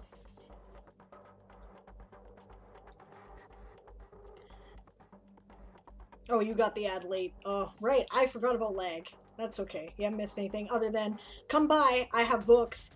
Um, uh, I have the same question as Author Goddess. Is it magical or, uh, you know, like medicinal herbology? Probably both, knowing you, and probably from a druid perspective. I have a couple books. Come by. Um, Dazzlecat says, sort of like a magical Batman and greatest American hero. Oh, cool. I like that. I like that a lot. I liked that show, The Greatest American Hero. You guys ever seen that show? That's like an old 80s show, I think. Uh, that was, you know, that show does not get enough credit, man. Like right now, there's a big thing in superhero fiction, right? About, uh, you know, what would be the real life consequences of having these kind of powers and having people that have these kind of powers. And that was the first show that ever addressed it and it addressed it from a comedic sort of standpoint. And, you know, it was awesome. How'd the theme song go? Believe it or not, I'm walking on air. I never thought I could feel so free. Flying away on a wind and a prayer. Ooh, it's me. Believe it or not, it's just me. Yeah, it was cool. It's a cool show. Yeah. Siobhan remembers now. Yep, theme song. I knew it. I knew that trigger. Dinosaur Bob says, I know people are complaining about the interrupting ads, but they're going to be in place of the ads that people see before they join a stream. Oh, well, that's better then, because especially if we can choose when they are, that's cool because nothing pisses me off more than when I'm like, oh, okay, here's the stream I've been waiting for. Ah, all right, I'm gonna go in. Ads. You're like, did I miss anything important? Yeah, I hate that. oh, I remember now. Splat into a billboard. Yeah, Dazzle Cat says splat into a billboard. Yep, yep. Author Goddess and the movie Condorman. Also good. Also good. Way underestimated. Uh, on a recent list I saw of the worst superhero movies of all time and it topped the list. I'm like, no, no, no, you don't get it. Ooh, you can sing, says Mezzo9. Thank you. I sort of moonlight as a uh, as a singer. Actually, I, I used to be a uh, well, I was trying to make it as a pro musician. I think I was semi-pro. I had a goth band that was doing really well. We were kind of doing what uh, um, Evanescence does like 10 years before they did it. And we were starting to make headway, and then the band broke up because life, because we're poor, basically. So, unfortunately, but um, yeah, Aaron plays my my music on his streams, so you want to check it out. Um, here's uh, some of it. Where am I here? Because I put it in Moobot, ha ha ha! Just in case people ask, but yeah, there's one right? And then uh, you can see I designed it for Aaron's stream, right? And then there's the goth band. So, yeah. Uh, Dinosaur Bob says in the long run, yeah, in, in the long run, it'll be better for streamers since people surfing uh, to find a channel won't skip over a channel that starts with a 30 second ad. I never do, you know, because I know that means they're affiliates and you just put up with the ad and then you check it out, right? Mezzanine says it's actually always worked that way. If you play a 30 second mid roll ad, viewers joining don't get ads for 30 minutes or something like that. Cool. Uh, yeah, it said disabled for 21 minutes. So, okay. Author Goddess says, It angers me that you can't find these things streaming, but we got crap reality TV. True story. Mezzanine says, Twitch don't advertise it well. Fact. Dazzlecat says, which is how my char uh, character first adventure failed so bad, he is a fence for the kobolds. Siobhan says, I do sometimes too. Yeah. Um, yeah. Sings. Yep. Uh, yes, she does. Uh, Dinosaur Bob says, FYI, subscribers won't see ads. Non-subs will be paused when inter which introduce more lag, but they shouldn't meet any miss anything. I guess that explains why uh, the World Anvil uh, stream always cuts off in the middle of grab your hammer and go world build. okay. Which I didn't know. Thanks for that information. Actually, it's very helpful. Okay, I don't see any more comments or questions about story ideas in the chat. So, uh, we're going to move on to the second part of what I had planned for today. Now, um, again, right, I, I said I was going to do it at the end of the stream, but I'll do it now because I see there's a lot of people that I don't think were here at the start of the stream. On Friday, uh, 12 o'clock p.m. Pacific time, uh, we are going to do a special one hour stream. This will directly follow the World Anvil uh, tutorial stream that is on Fridays. And we will be talking about a, a uh, sort of a contest type event, although it's not really a contest, that a lot of the Anvilite Streamer Core writers are doing for National Novel Writing Month. And um, I still haven't worked out all the logistics. This could be fun uh, total chaos. Could be great. But I'm very excited about it. A lot of writers been working on it. Danny Adventures for one uh, example, Siobhan the writer for another, Darth Nicholas for a third. These are uh, people who have appeared in the chat. Also, uh, Chrysalia, who streams at like one or two in the morning my time, right? And because she's in Malaysia, right? And Coffee Quills, who is in Japan right? Um, and I don't know who else might be interested, but we're uh, these are the people who've been kind of planning it, right? And we're going to do the reveal of what the event is and how you can get involved on Friday. So I'm very excited. That will be right after the World Anvil stream and right before Aaron's uh, Ask an Old GM stream. So, yeah, very excited about this. All right. Part two was I was going to get some writing done. What do you guys think? Shall we do that? I still got editing to do for my nano prep, put things in my book and, uh, you know, get it all ready and organize my timeline for the event. Author Goddess is all for the writing. Right, right, right. I have a new emoji too says right, right, right. I'm excited about that too. See? There we go. Oh, more writing, says Siobhan. Are you kind of like burnt out on the writing? She's been working like a demon. She's been doing NaNoWriMo every month, basically, by doing her stream. I talk too much for that shit. but that's cool. Nah, says Bob. You're funny, it's great. I've got to bring my phone in here today, so I'll have to make sure to check the chat more in detail. Look over there more. If you see me looking over there, I'm looking at the chat. Alright, let's get her done, shall we?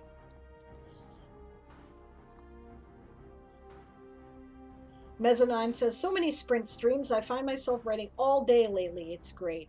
I love it too. I just adore it. Actually, it make it's it's so cool that there's so many streamers who are doing writing sprint streams. I'm going to be doing that pretty much every day uh, during November at various times. Um, yeah, let's see. And uh, except for the days when Aaron is doing his Ask an Old GM streams, but one or the other of us, because he's also going to do writing sprint streams later in the evening, right? We'll be doing a writing sprint stream every day. There's so many actually here. Uh, I will put a link in the chat for you. Okay, so this is the link you want right? And uh, I know there's going to be more too. Don't uh, forget to check out the uh, Twitch Writers Network Discord because they are also doing. I'm sure they'll be doing all kinds of writing streams. You go there, right, and you will see a bunch of events. Skip ahead in the calendar to November. Just a second, I'll show you that on my main screen here. Right, this is November right? Pretty much all this is like writing streams. Like,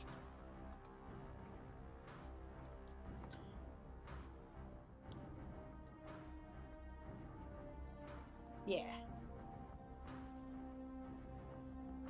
Write-ins.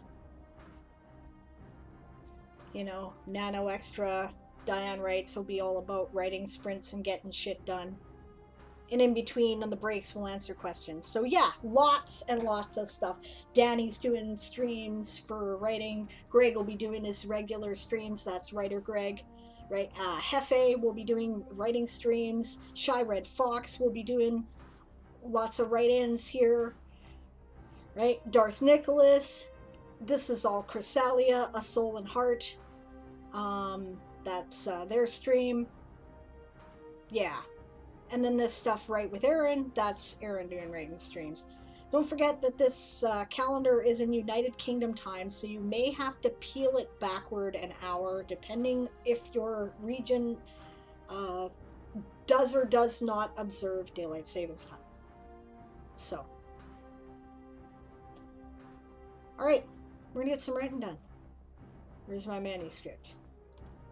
There it is. I'll be doing editing but focus period of work, guys. Siobhan says, nope, not burnt out. That's good. Excellent. Dazzlecat says, I'm working out the hunt for grandfather's murderer while other things happen. Cool. Siobhan says, also there is not an adjustment yet for time change. Right? And hello, Rabid Candy Void. Uh, we're about to get into some writing sprints or, you know, focused periods of work, I will be doing editing. And no, I don't have the timer up yet because I'm on the wrong screen because I was uh, looking at, you know, this is kind of my general main screen, uh, screen for when I'm looking at things. So, everybody ready? And let's go.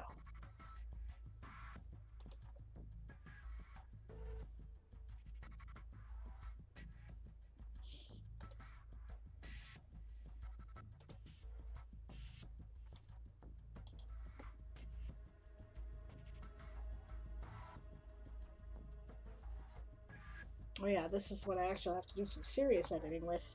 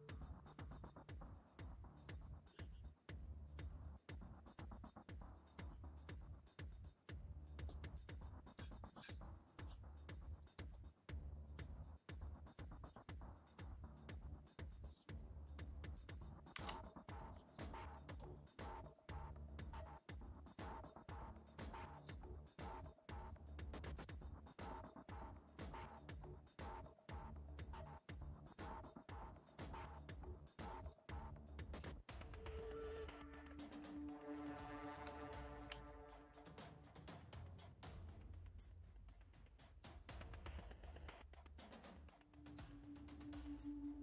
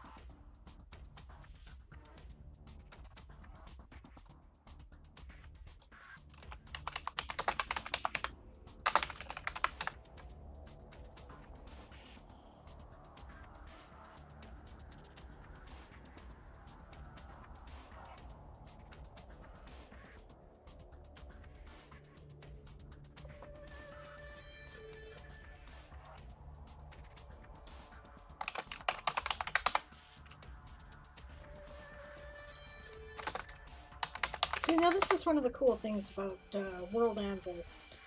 I the edits I just made were made as a result of clarifying shit that I've worked on in World Anvil since I have uh, been putting my stuff on there. So.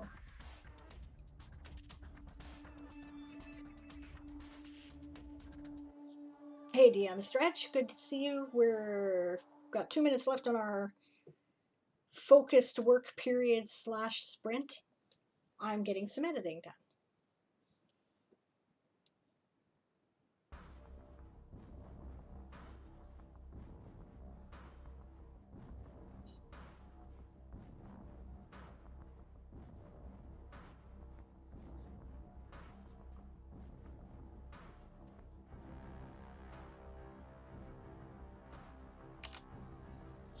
Jeez, I used to be kind of overblown with my phrasing, didn't I? I think it, I thought it made me... Well, in a way, I, I'm... I was imitating the style of Master and Commander, but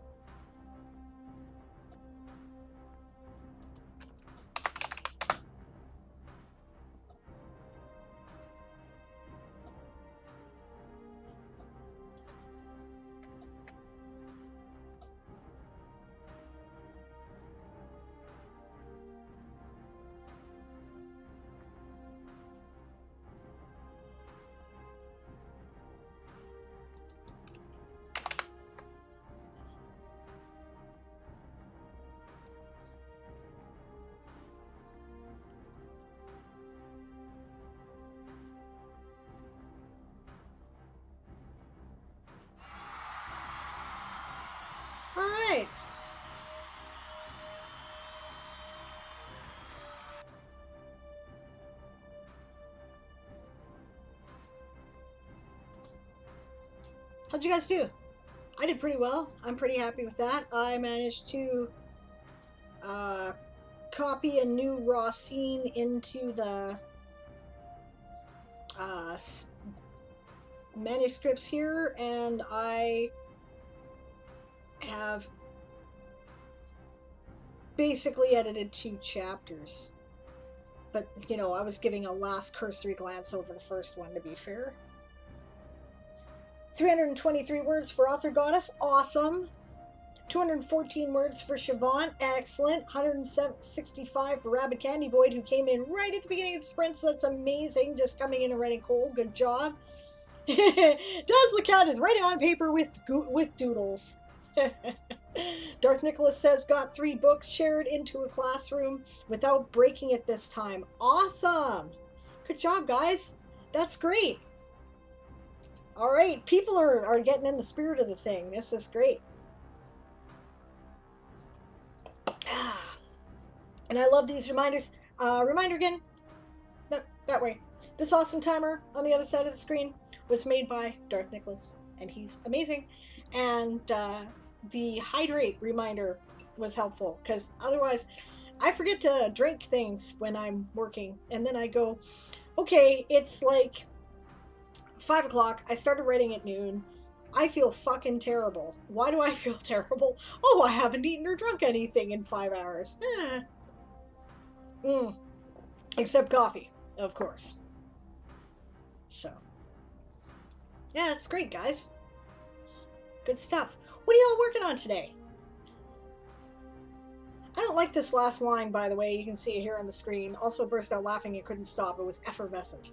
I know effervescent is what I want to say, but the thing is, I don't think it's consistent with the rest of the language because it, it's a pretty simple writing style through most of the rest of it. So, great, uh, um, I'm looking for a better way to put it. Bubbled forth somehow. I don't know. Yeah. Siobhan says, I struggled with the scene, trying to figure out how to phrase things. Yes. Hope. Core Agenda Chronicles. Yes. Excellent.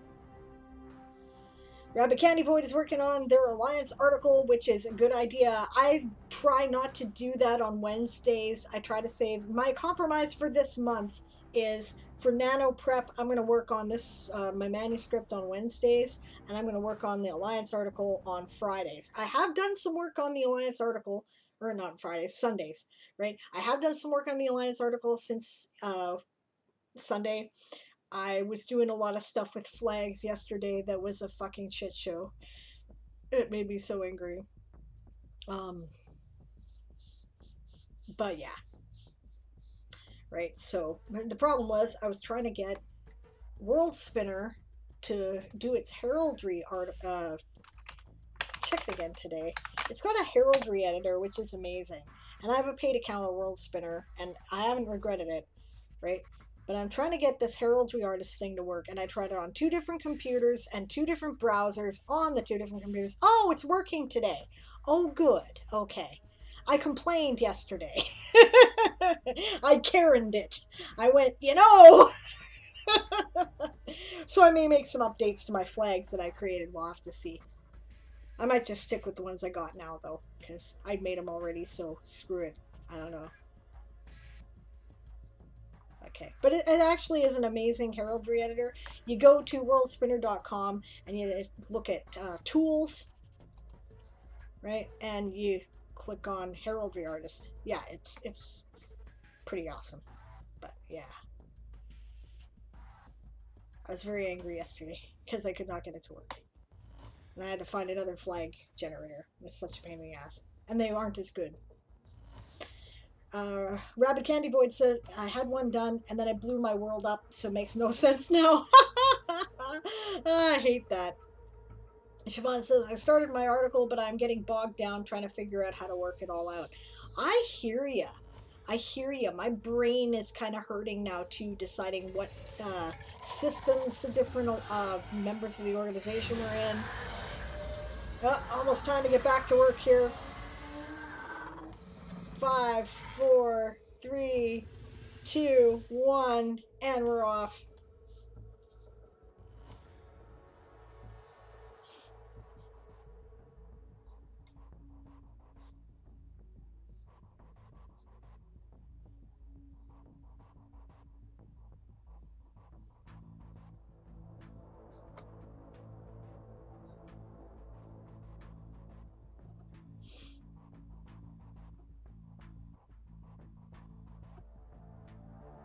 Also burst out. So burst. There we go.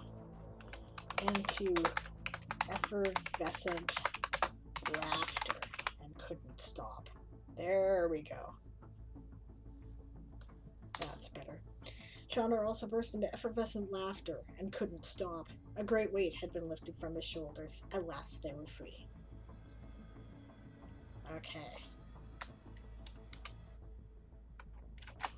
Happy with this.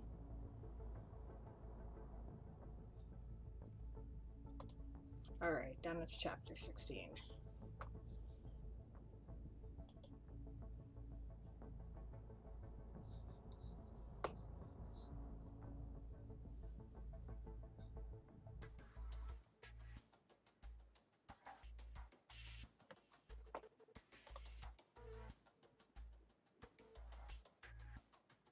Afraid to shut that down now in case it stops working again.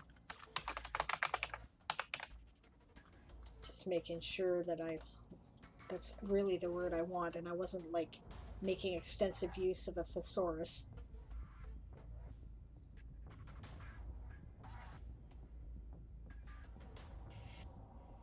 Yeah. Informal, casual, curt, or brusque.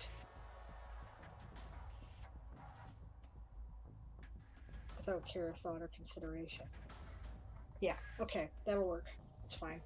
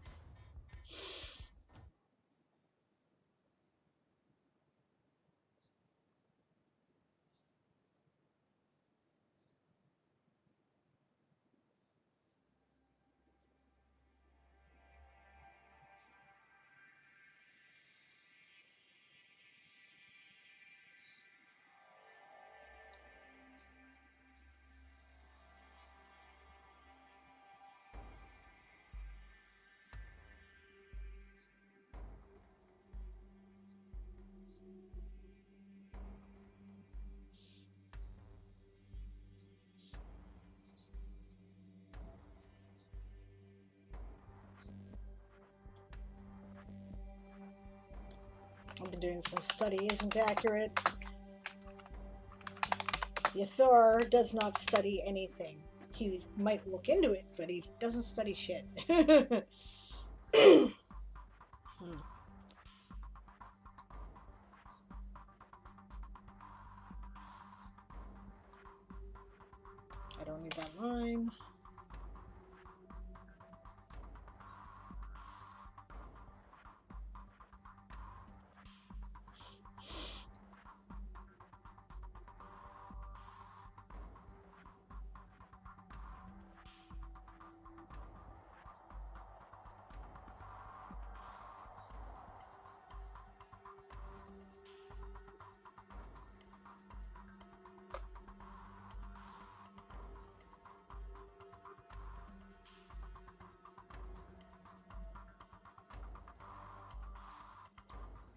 That's a redundant statement.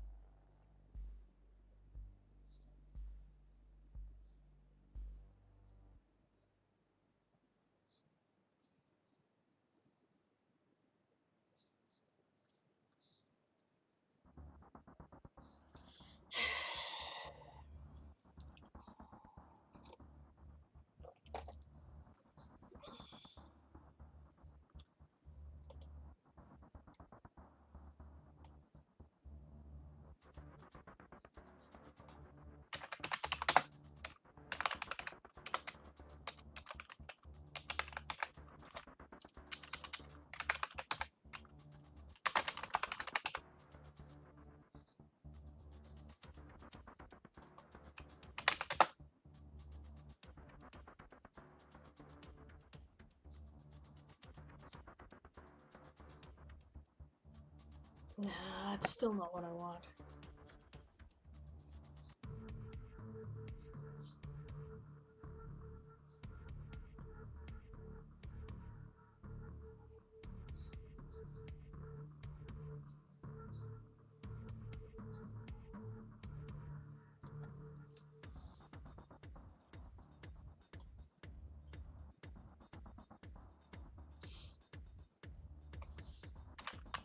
Think that's a better phrase.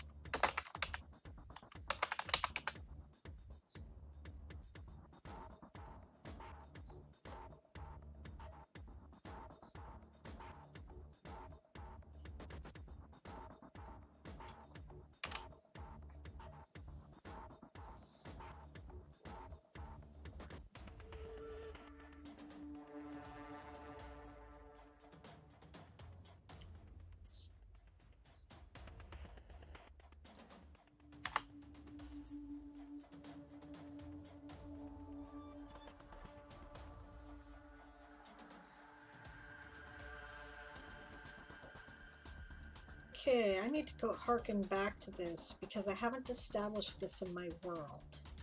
That business comes from the fact that this was based on a role-playing game. So now I have to go back and make sure I write somewhere about the dangers of the Orcish Horde. No, no, actually, no, I'm wrong. I did that twice. Okay, there was a conversation with Madrimlian, and there was the, uh, when he, they were aboard Madrimlian's ship, and there was the uh, um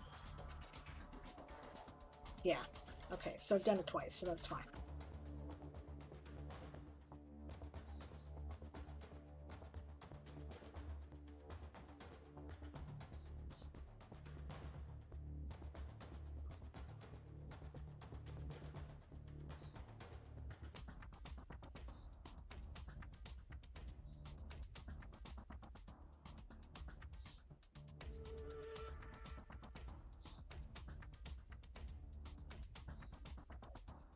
had to establish the spare uniform too. I'm pretty sure I've done that though, or the civvies.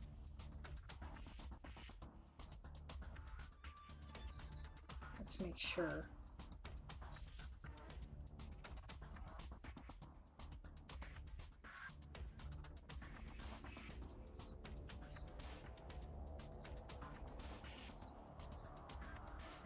Yep, took a few months to change it to civilian clothes they now customarily kept in their packs.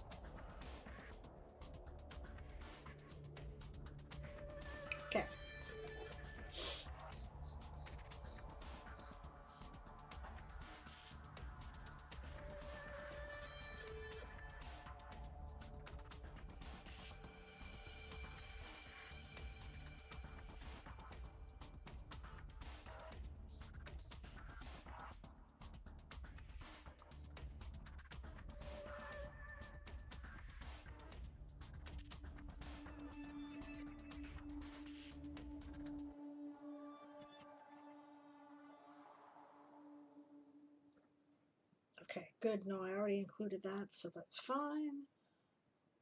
Have to make sure to harken back to that.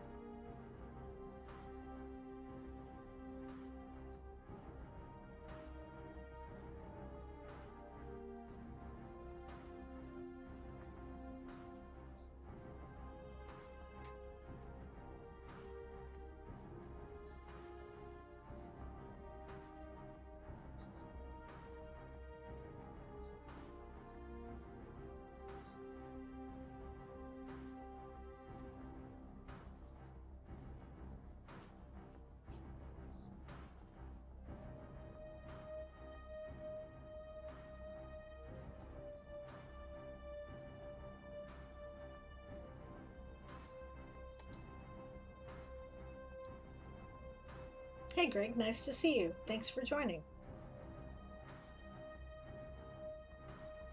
Stretch will be right back. See you soon.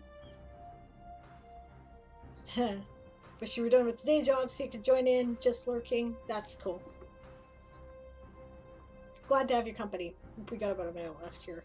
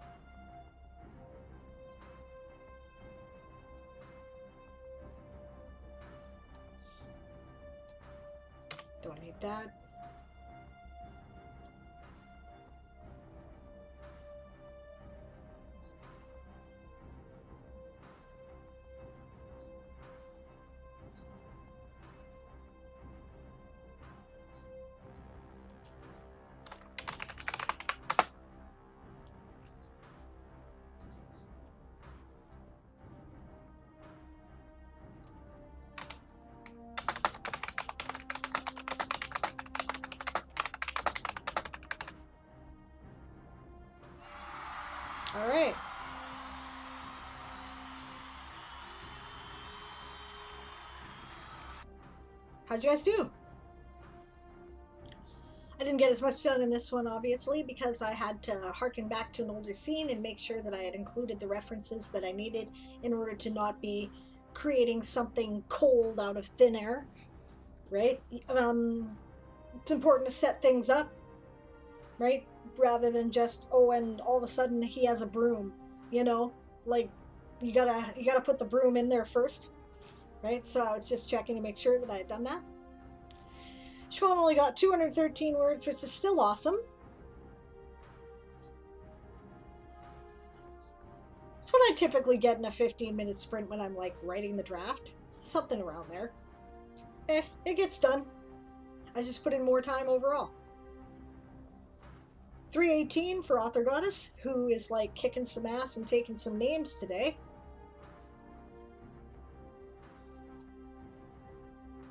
She led the last sprint too, as I recall. Happy Candy Void says I was stuck making stub articles.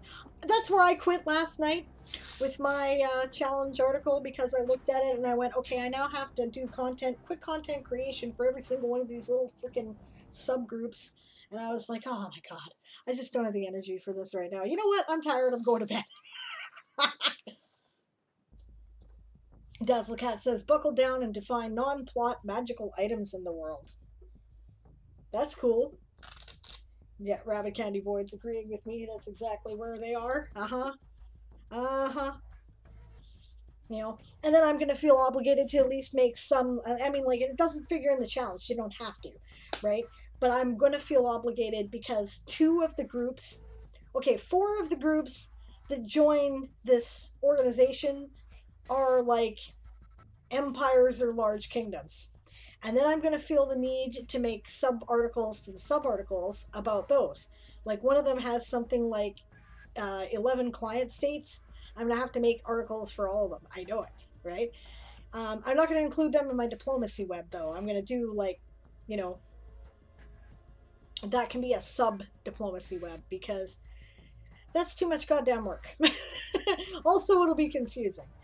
Um, I've already got uh, four major powers and five independent co-belligerents because this was a pact that was involved in a war. It's basically an analog for the Central Powers of Europe in World War One, right? And I'm going to, uh, you know, so I, I figure that nine organizations with their interweaving, you know, diplomatic relationships is sufficient.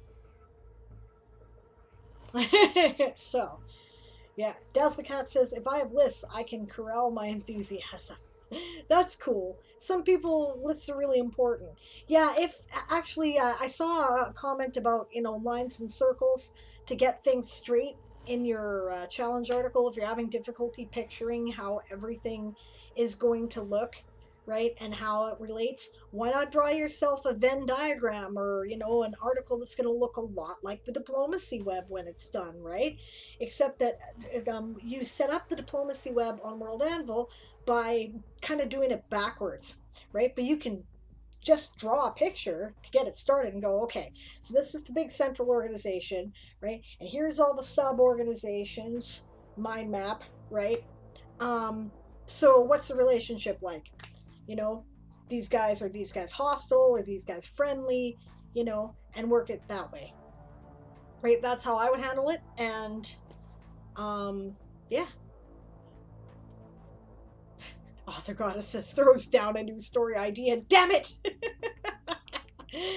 yeah. All the all the too many ideas, so little time. I hear you.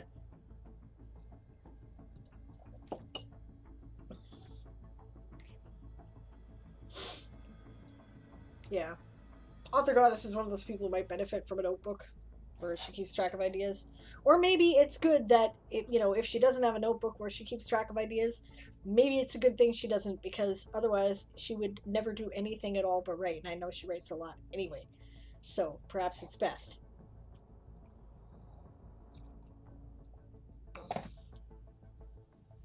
Author Goddess doesn't have a spreadsheet. That's great. Alright, time to get back to work. Which is good. Five, four, three. and we're off.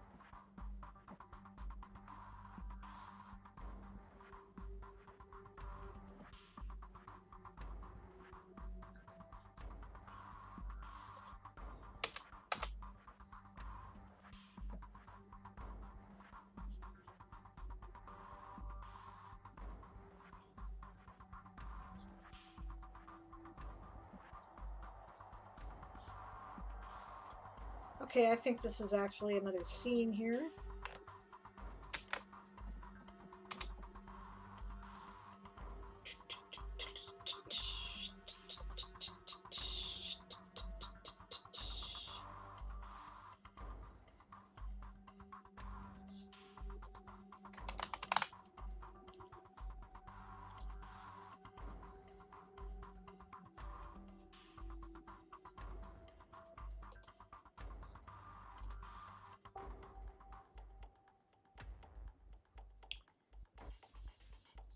Oh, look at that. It conveniently just frickin' named it for me according to my conventions. Or did it? Oh no, I lied. I'm in the wrong area. I was like, oh, that's handy.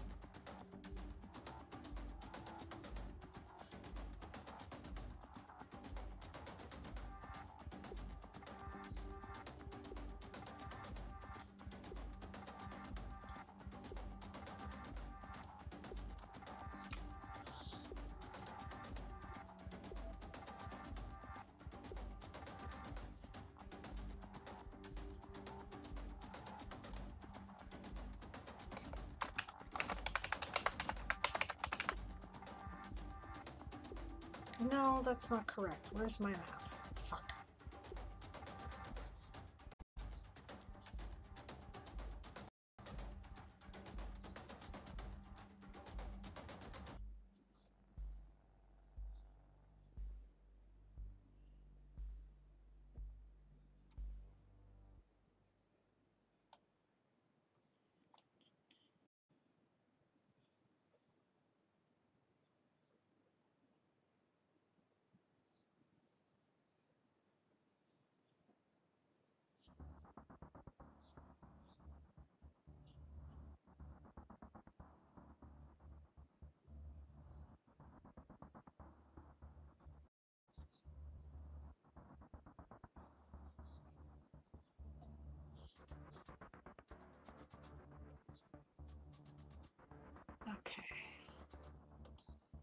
I changed it, but I'm changing it back.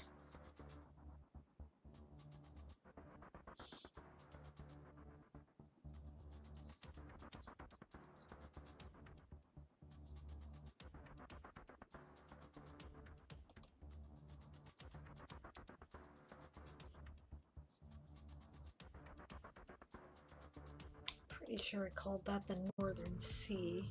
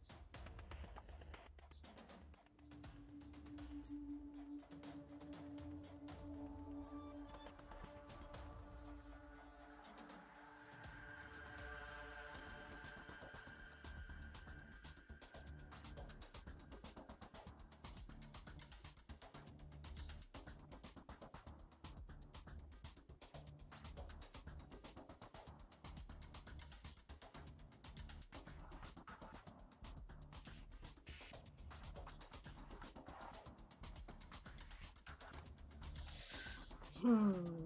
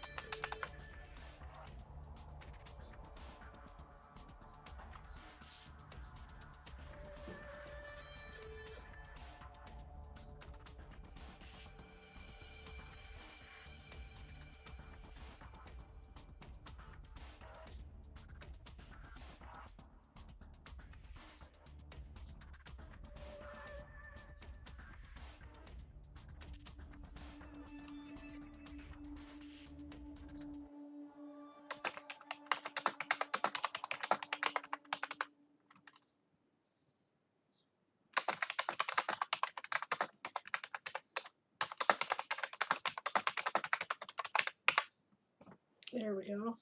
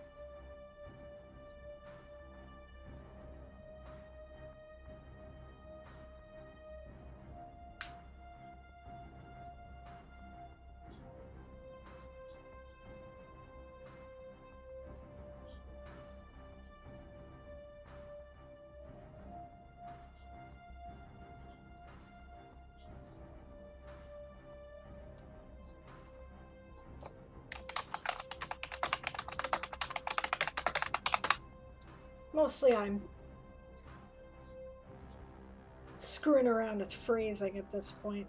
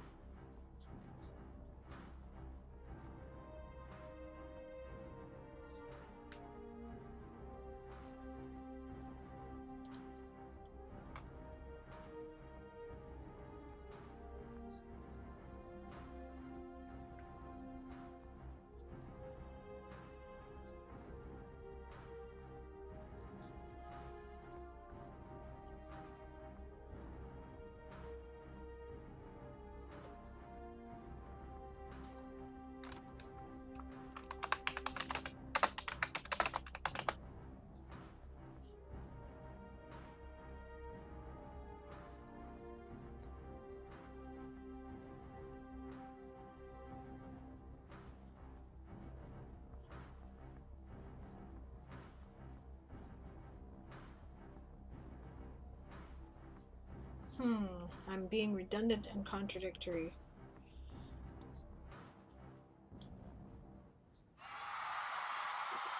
I guess I'll have to work on it later. Alright, how'd you guys do? I'm pretty happy with that. I did some seriously good editing there, I think. I'm pretty impressed. I don't have time for another sprint, do I? Holy crap, it's almost 4 o'clock already. That was a fast stream. My god. Time flies when you're having fun, alright? Wow. Alright. I might do a little focused writing again before we uh, quit permanently, but we got like seven minutes, so wow, that just that just blew by for me.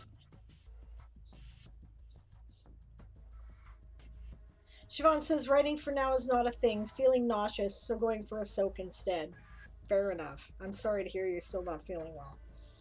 Uh, Rabbit Candy Void says, I have taken to carrying around a voice recorder. I done that was in response to keeping track of your ideas. That's great. The uh, author goddess says that her spreadsheet has 28 workable ideas right now. Holy crap. Siobhan says, I have five, but all set in her world of core agenda. Author Goddess says, I don't even count most of my sequels. I don't either. Um, for me, generally, right? Okay, well, Wyrd West I do, because Wyrd West is kind of a sequential thing, but for Toy Soldier, it's all one story. It's just a really big story, and it's split into parts, right? It's like Lord of the Rings. Okay.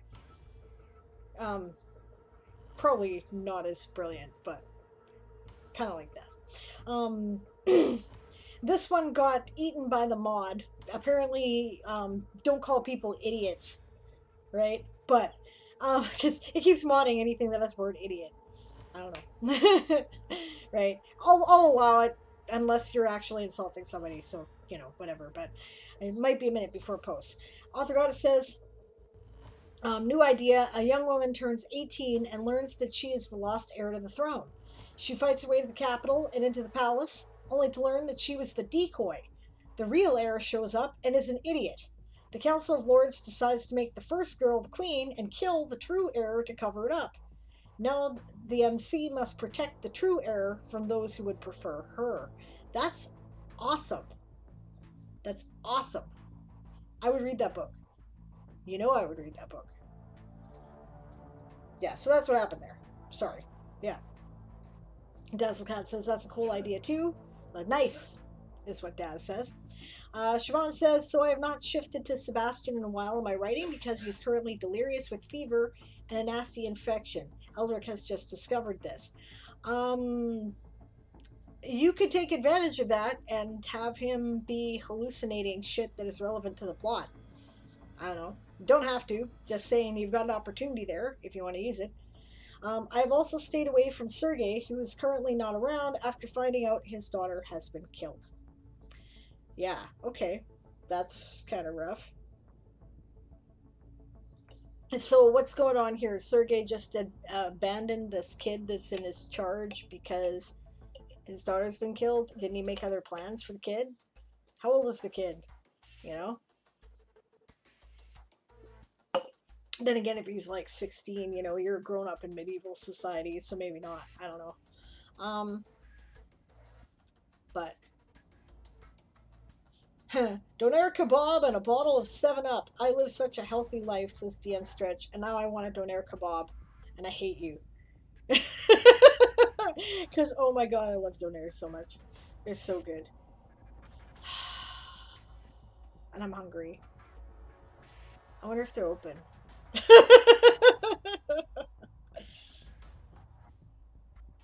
Siobhan says food sounds good bad right now.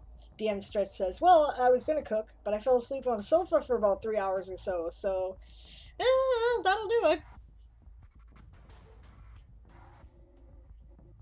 Siobhan says, uh, DM, you seem somewhat narcoleptic. Stretch says, Yeah, I seem to sleep in shifts. Only got about four hours last night due to being out of work for long for so long since the start of the lockdown. I hear you.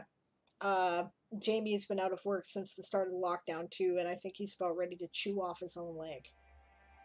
Just saying. I would really like him to, you know, find something to do. I'm kidding. Okay, Rabbit Candy Boy did 331 words. Excellent. That's great. Dazzlecat says, still working on paper. Awesome. That's great. Siobhan says, consider bath but need food. Also, thought of food is not nice. Make up your mind. Uh, DM Stretch says, uh, might have been why I felt so rough the other night when I had to cancel my stream, lack of sleep, and didn't sleep during the day. You know, you do eventually have to sleep. I'm just saying. Like, it's, you, you really do actually need to do that. You know, coffee and nicotine and, uh, you know, sugar rush and whatever else you're doing will only last for so long, and eventually you still need to sleep. I'm just saying. My protagonist might want to know that too.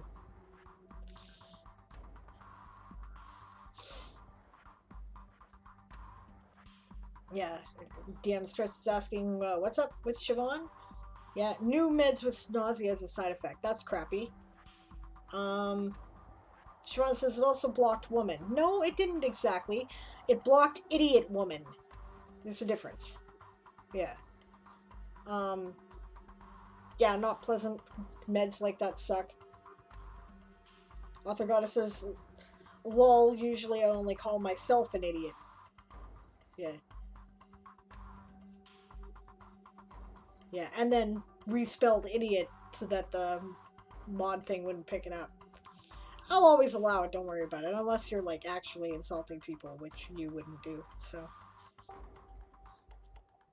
Uh, DM Stretch says, you're not the only one author goddess guilty here too.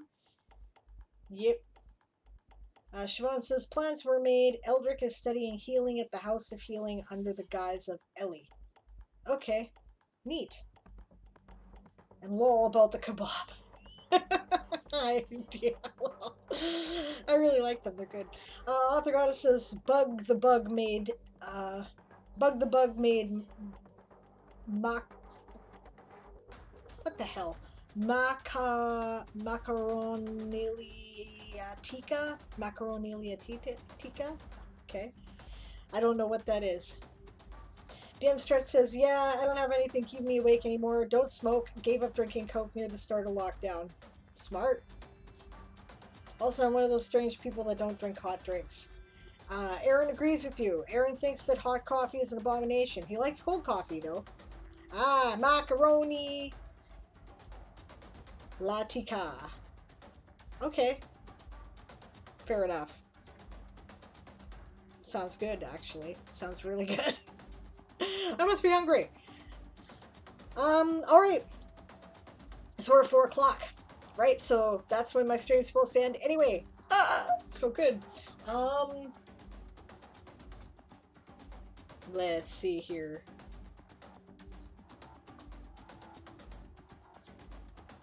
Alright. So, um, yeah, I was looking for something, but I don't see it. So, um, Right.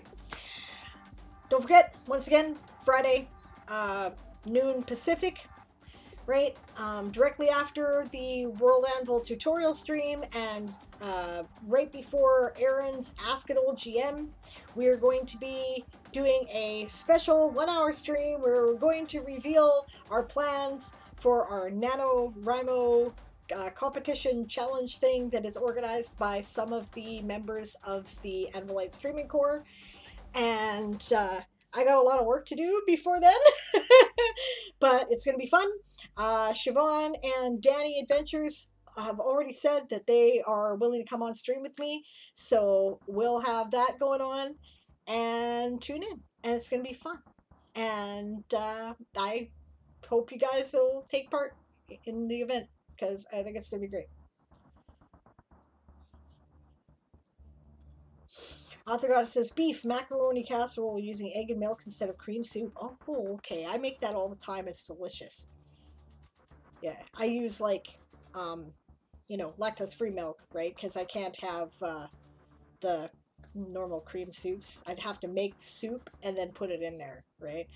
and actually making mushroom soup while I do that, cream mushroom soup, because I like it when you're gluten and lactose free, it takes work. It's not something you can open a can for and just go, right? You can't do that, so. Black is supposed to be on, but can't see them. Oh. Oh, Black is off the schedule now. I guess Black canceled. That's unfortunate. Okay. Uh, Black Megan is usually who I raid on Wednesdays. Author Goddess says, plans for World Takeover? Ash Siobhan says, yeah, he's not up at the moment. Oat milk, so good. Oat milk is pretty good in cooking. I don't like drinking it, but it's okay in cooking. Well, let's see. So who the hell is on then? Um, what does my schedule say? That's not the schedule.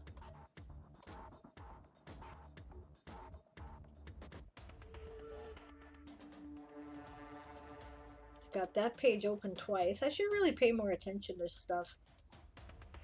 Okay.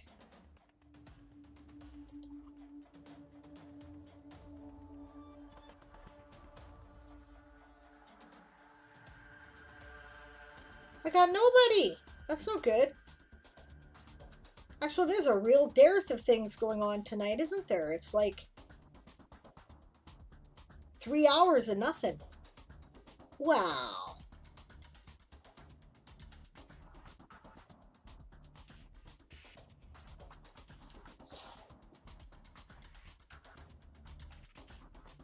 Dan Laren, Cobalt Press, Scribbler Society. Okay. Siobhan says Black is having a tough time. Yeah, I know he is. Yeah, it's a shame. I sympathize. Dan Stretch says I would have jumped on if I'd known. Still eating. How fast he eat? I'll wait for you. If it won't be longer than a few minutes. Um. Yeah, Scribbler Society, DM Lair, Cobalt Press. Writer Greg's on in three hours. I know. I'm looking forward to it, but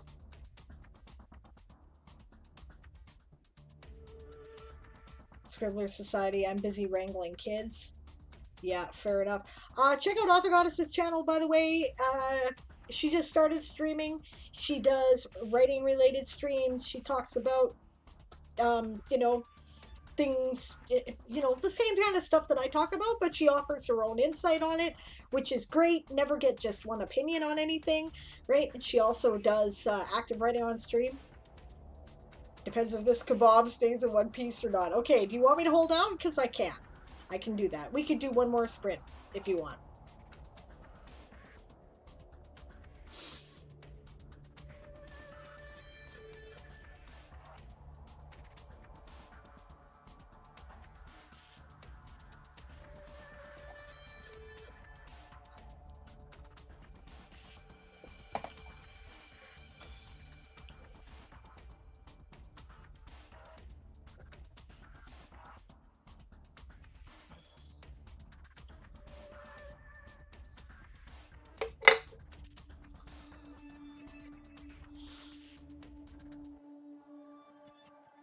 Okay, will be a bit of an unplanned chaotic stream though. No problem. That's what a lot of my nano streams are going to be like. It's a good thing I have a plan for like sprinting because otherwise I have no idea. Need maybe 10 minutes to sort out and set up. Okay. Alright, you guys want to do one last sprint in the meantime while we wait for DM Stretch to get set up? Or would you rather yap? It's kind of fine with me either way. I wouldn't mind getting some more work done myself. But I don't care. I'm here for the nods. Sure, says Dazzlecat. Okay, let's do it. Ready, steady, and we're up. As Coffee Quills likes to say. Ready, steady, go. Alright.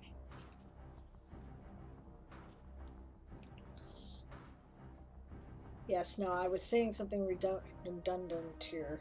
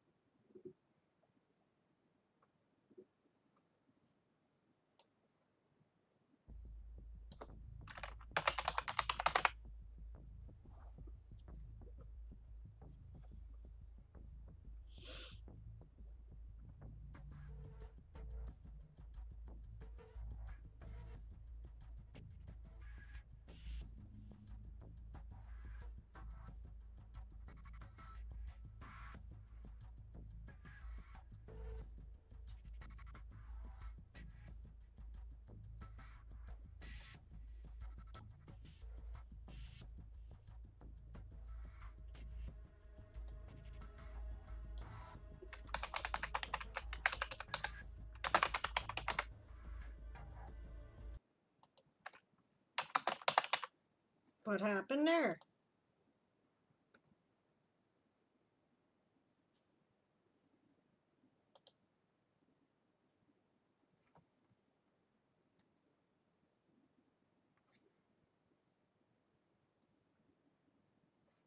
What's going on here? My music died. Huh. Alright, start it again.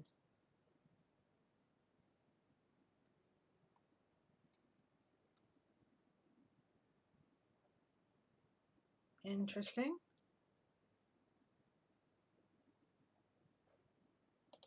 Different music?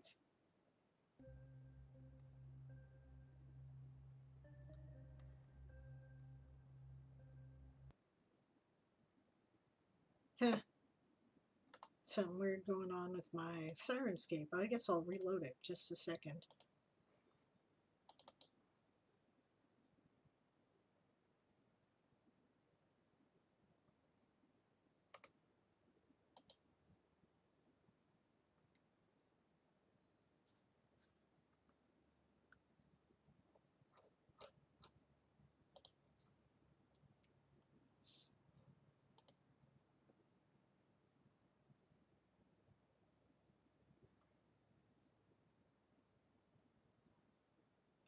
Hmm.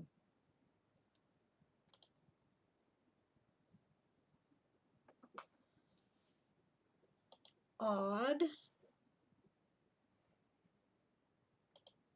Can you guys hear me? I hope so.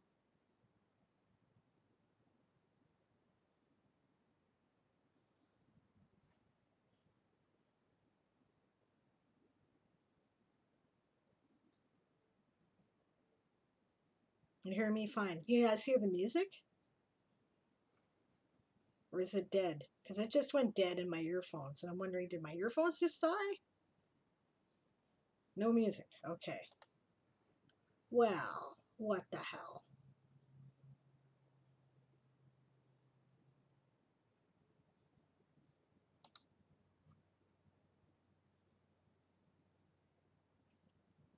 Hmm.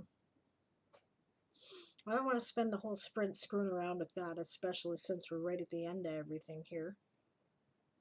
Uh,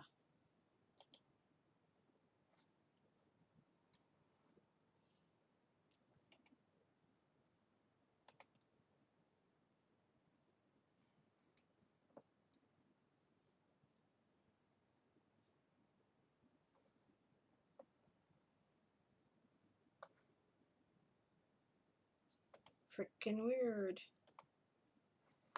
Try reloading this. I've never had that happen before.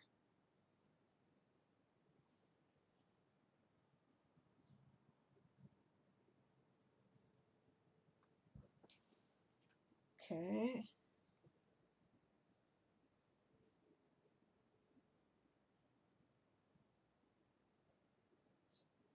I am confused. Alright, let's try this one.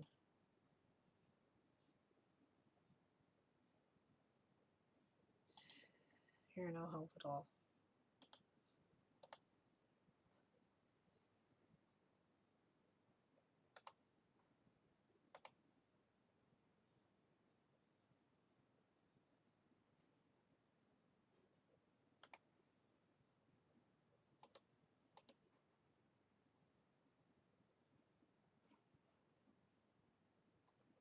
Weird.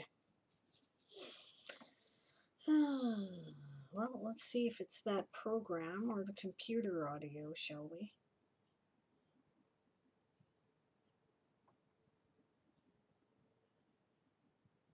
Let's see.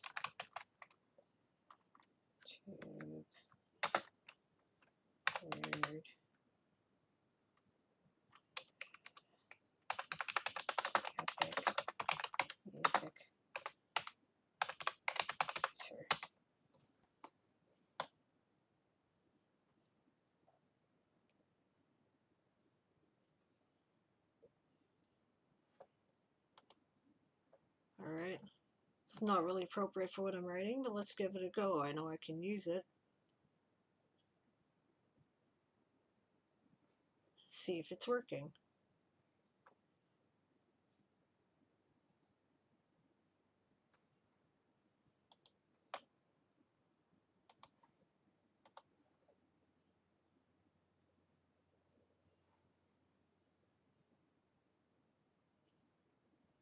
Nope, so it looks like something in my onboard audio went. I don't want to deal with you anymore.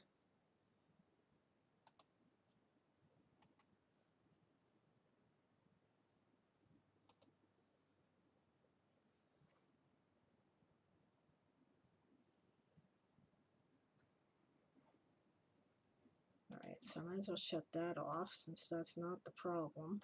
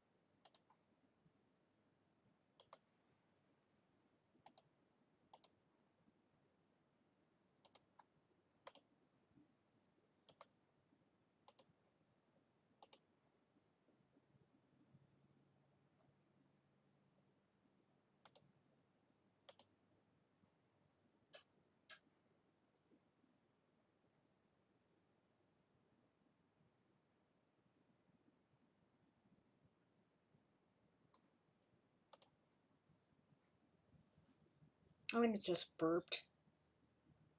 Oh well. Whatever. Lost the driver temporarily. I'll have to reinstall or something or.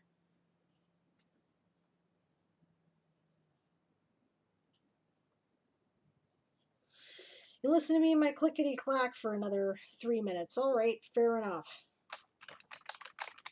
Disappeared through the door behind the desk.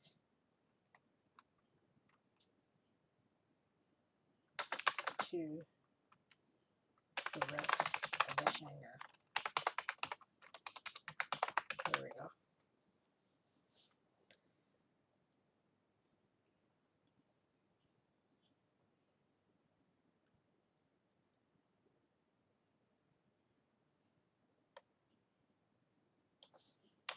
She dipped her quill. There's no need sometimes to one of the mistakes I this remember this is the first like raw draft I actually finished and one of the mistakes I tend to make is I say things that don't need to be said. One assumes that one picked up a quill if one has a quill. So I can just say that there's a quill and dip it into an inkwell. and that is sufficient. I don't need to say she picked up the quill, she held it in her hand, then she dipped it in the inkwell. We understand that.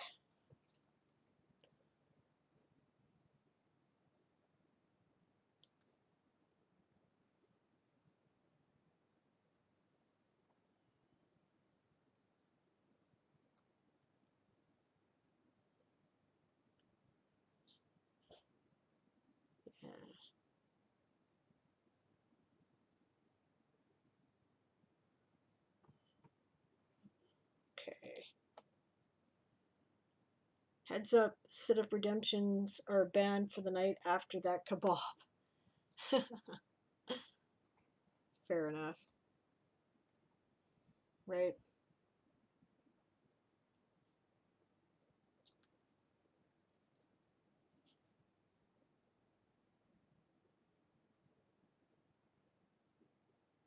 All right. Yeah, let me know when you're up there, DM stretch. Got 40 seconds left to the sprint here.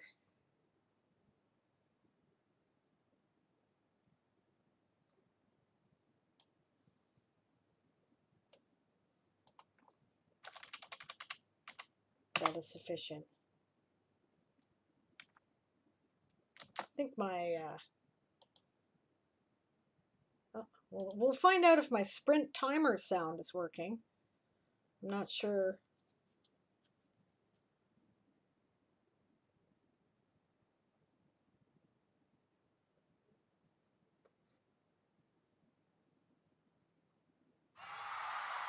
Well, that sounded.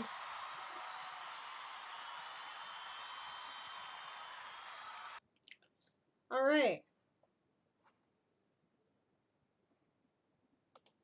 Go back to downtime. Huh. I don't understand what happened there.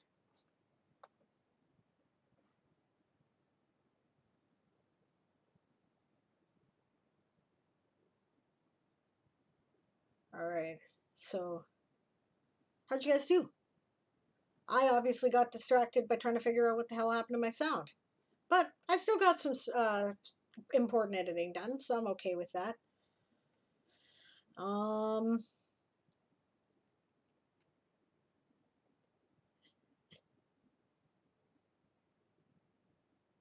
yeah. Siobhan says, DM Stretch, most of my streams are chaotic. Yep. Kebab has beaten DM Stretch. Siobhan says, the only thing I have planned for them is writing. Knife and fork time, says uh, Siobhan to DM Stretch. I have no idea what I'll be writing. Maybe my one shot. That's cool. That's what DM Stretch says. Uh, we could just talk, says Siobhan. Cool Stretch will be surprised, says Daz. Siobhan wants to know if uh, Shades would work on Greg's Let's Write emote.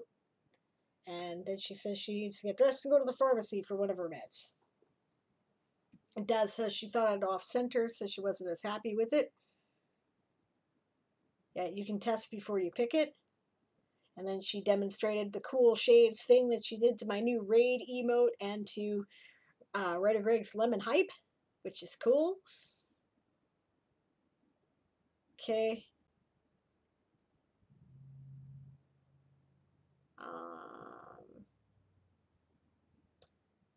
Good. DM Stretch fo followed Author Goddess a few minutes ago. That's great. Heads up. Sit up redemptions banned for the night after that kebab. He already said. I already pointed out that he said that, right? Um. Yeah. Daz says, "Lol, stretch use that uh, only to break up a long internal thought spiral." Raider Greg says, "Heard that." Stretch, uh, you don't eat the uh, kebab spear, says Dazzle Cat. Uh, bad for the guts. Yeah. Scribbling and doodles, says Dazzle Cat, so good stuff. Author Goddess did 359 words. Wow. Awesome. DM Stretch says live now. It's coming up soon. Screen up now. All right. So we're going to go over and raid DM Stretch, obviously, who kindly is doing an impromptu stream to keep us all busy until uh, Greg comes on in a couple hours. So we'll go check him out. I'll see if I can hear him through my computer, because I bet you I can't. And I'll have to reboot. But don't forget, when you get there, the raid shout is prepare to be boarded because we are the Sable's privateers. As I've said repeatedly, I will be back on Friday at noon. Don't miss it. It's going to be amazing. And in the meantime, keep writing, guys, and we will see you there. All right, and raid.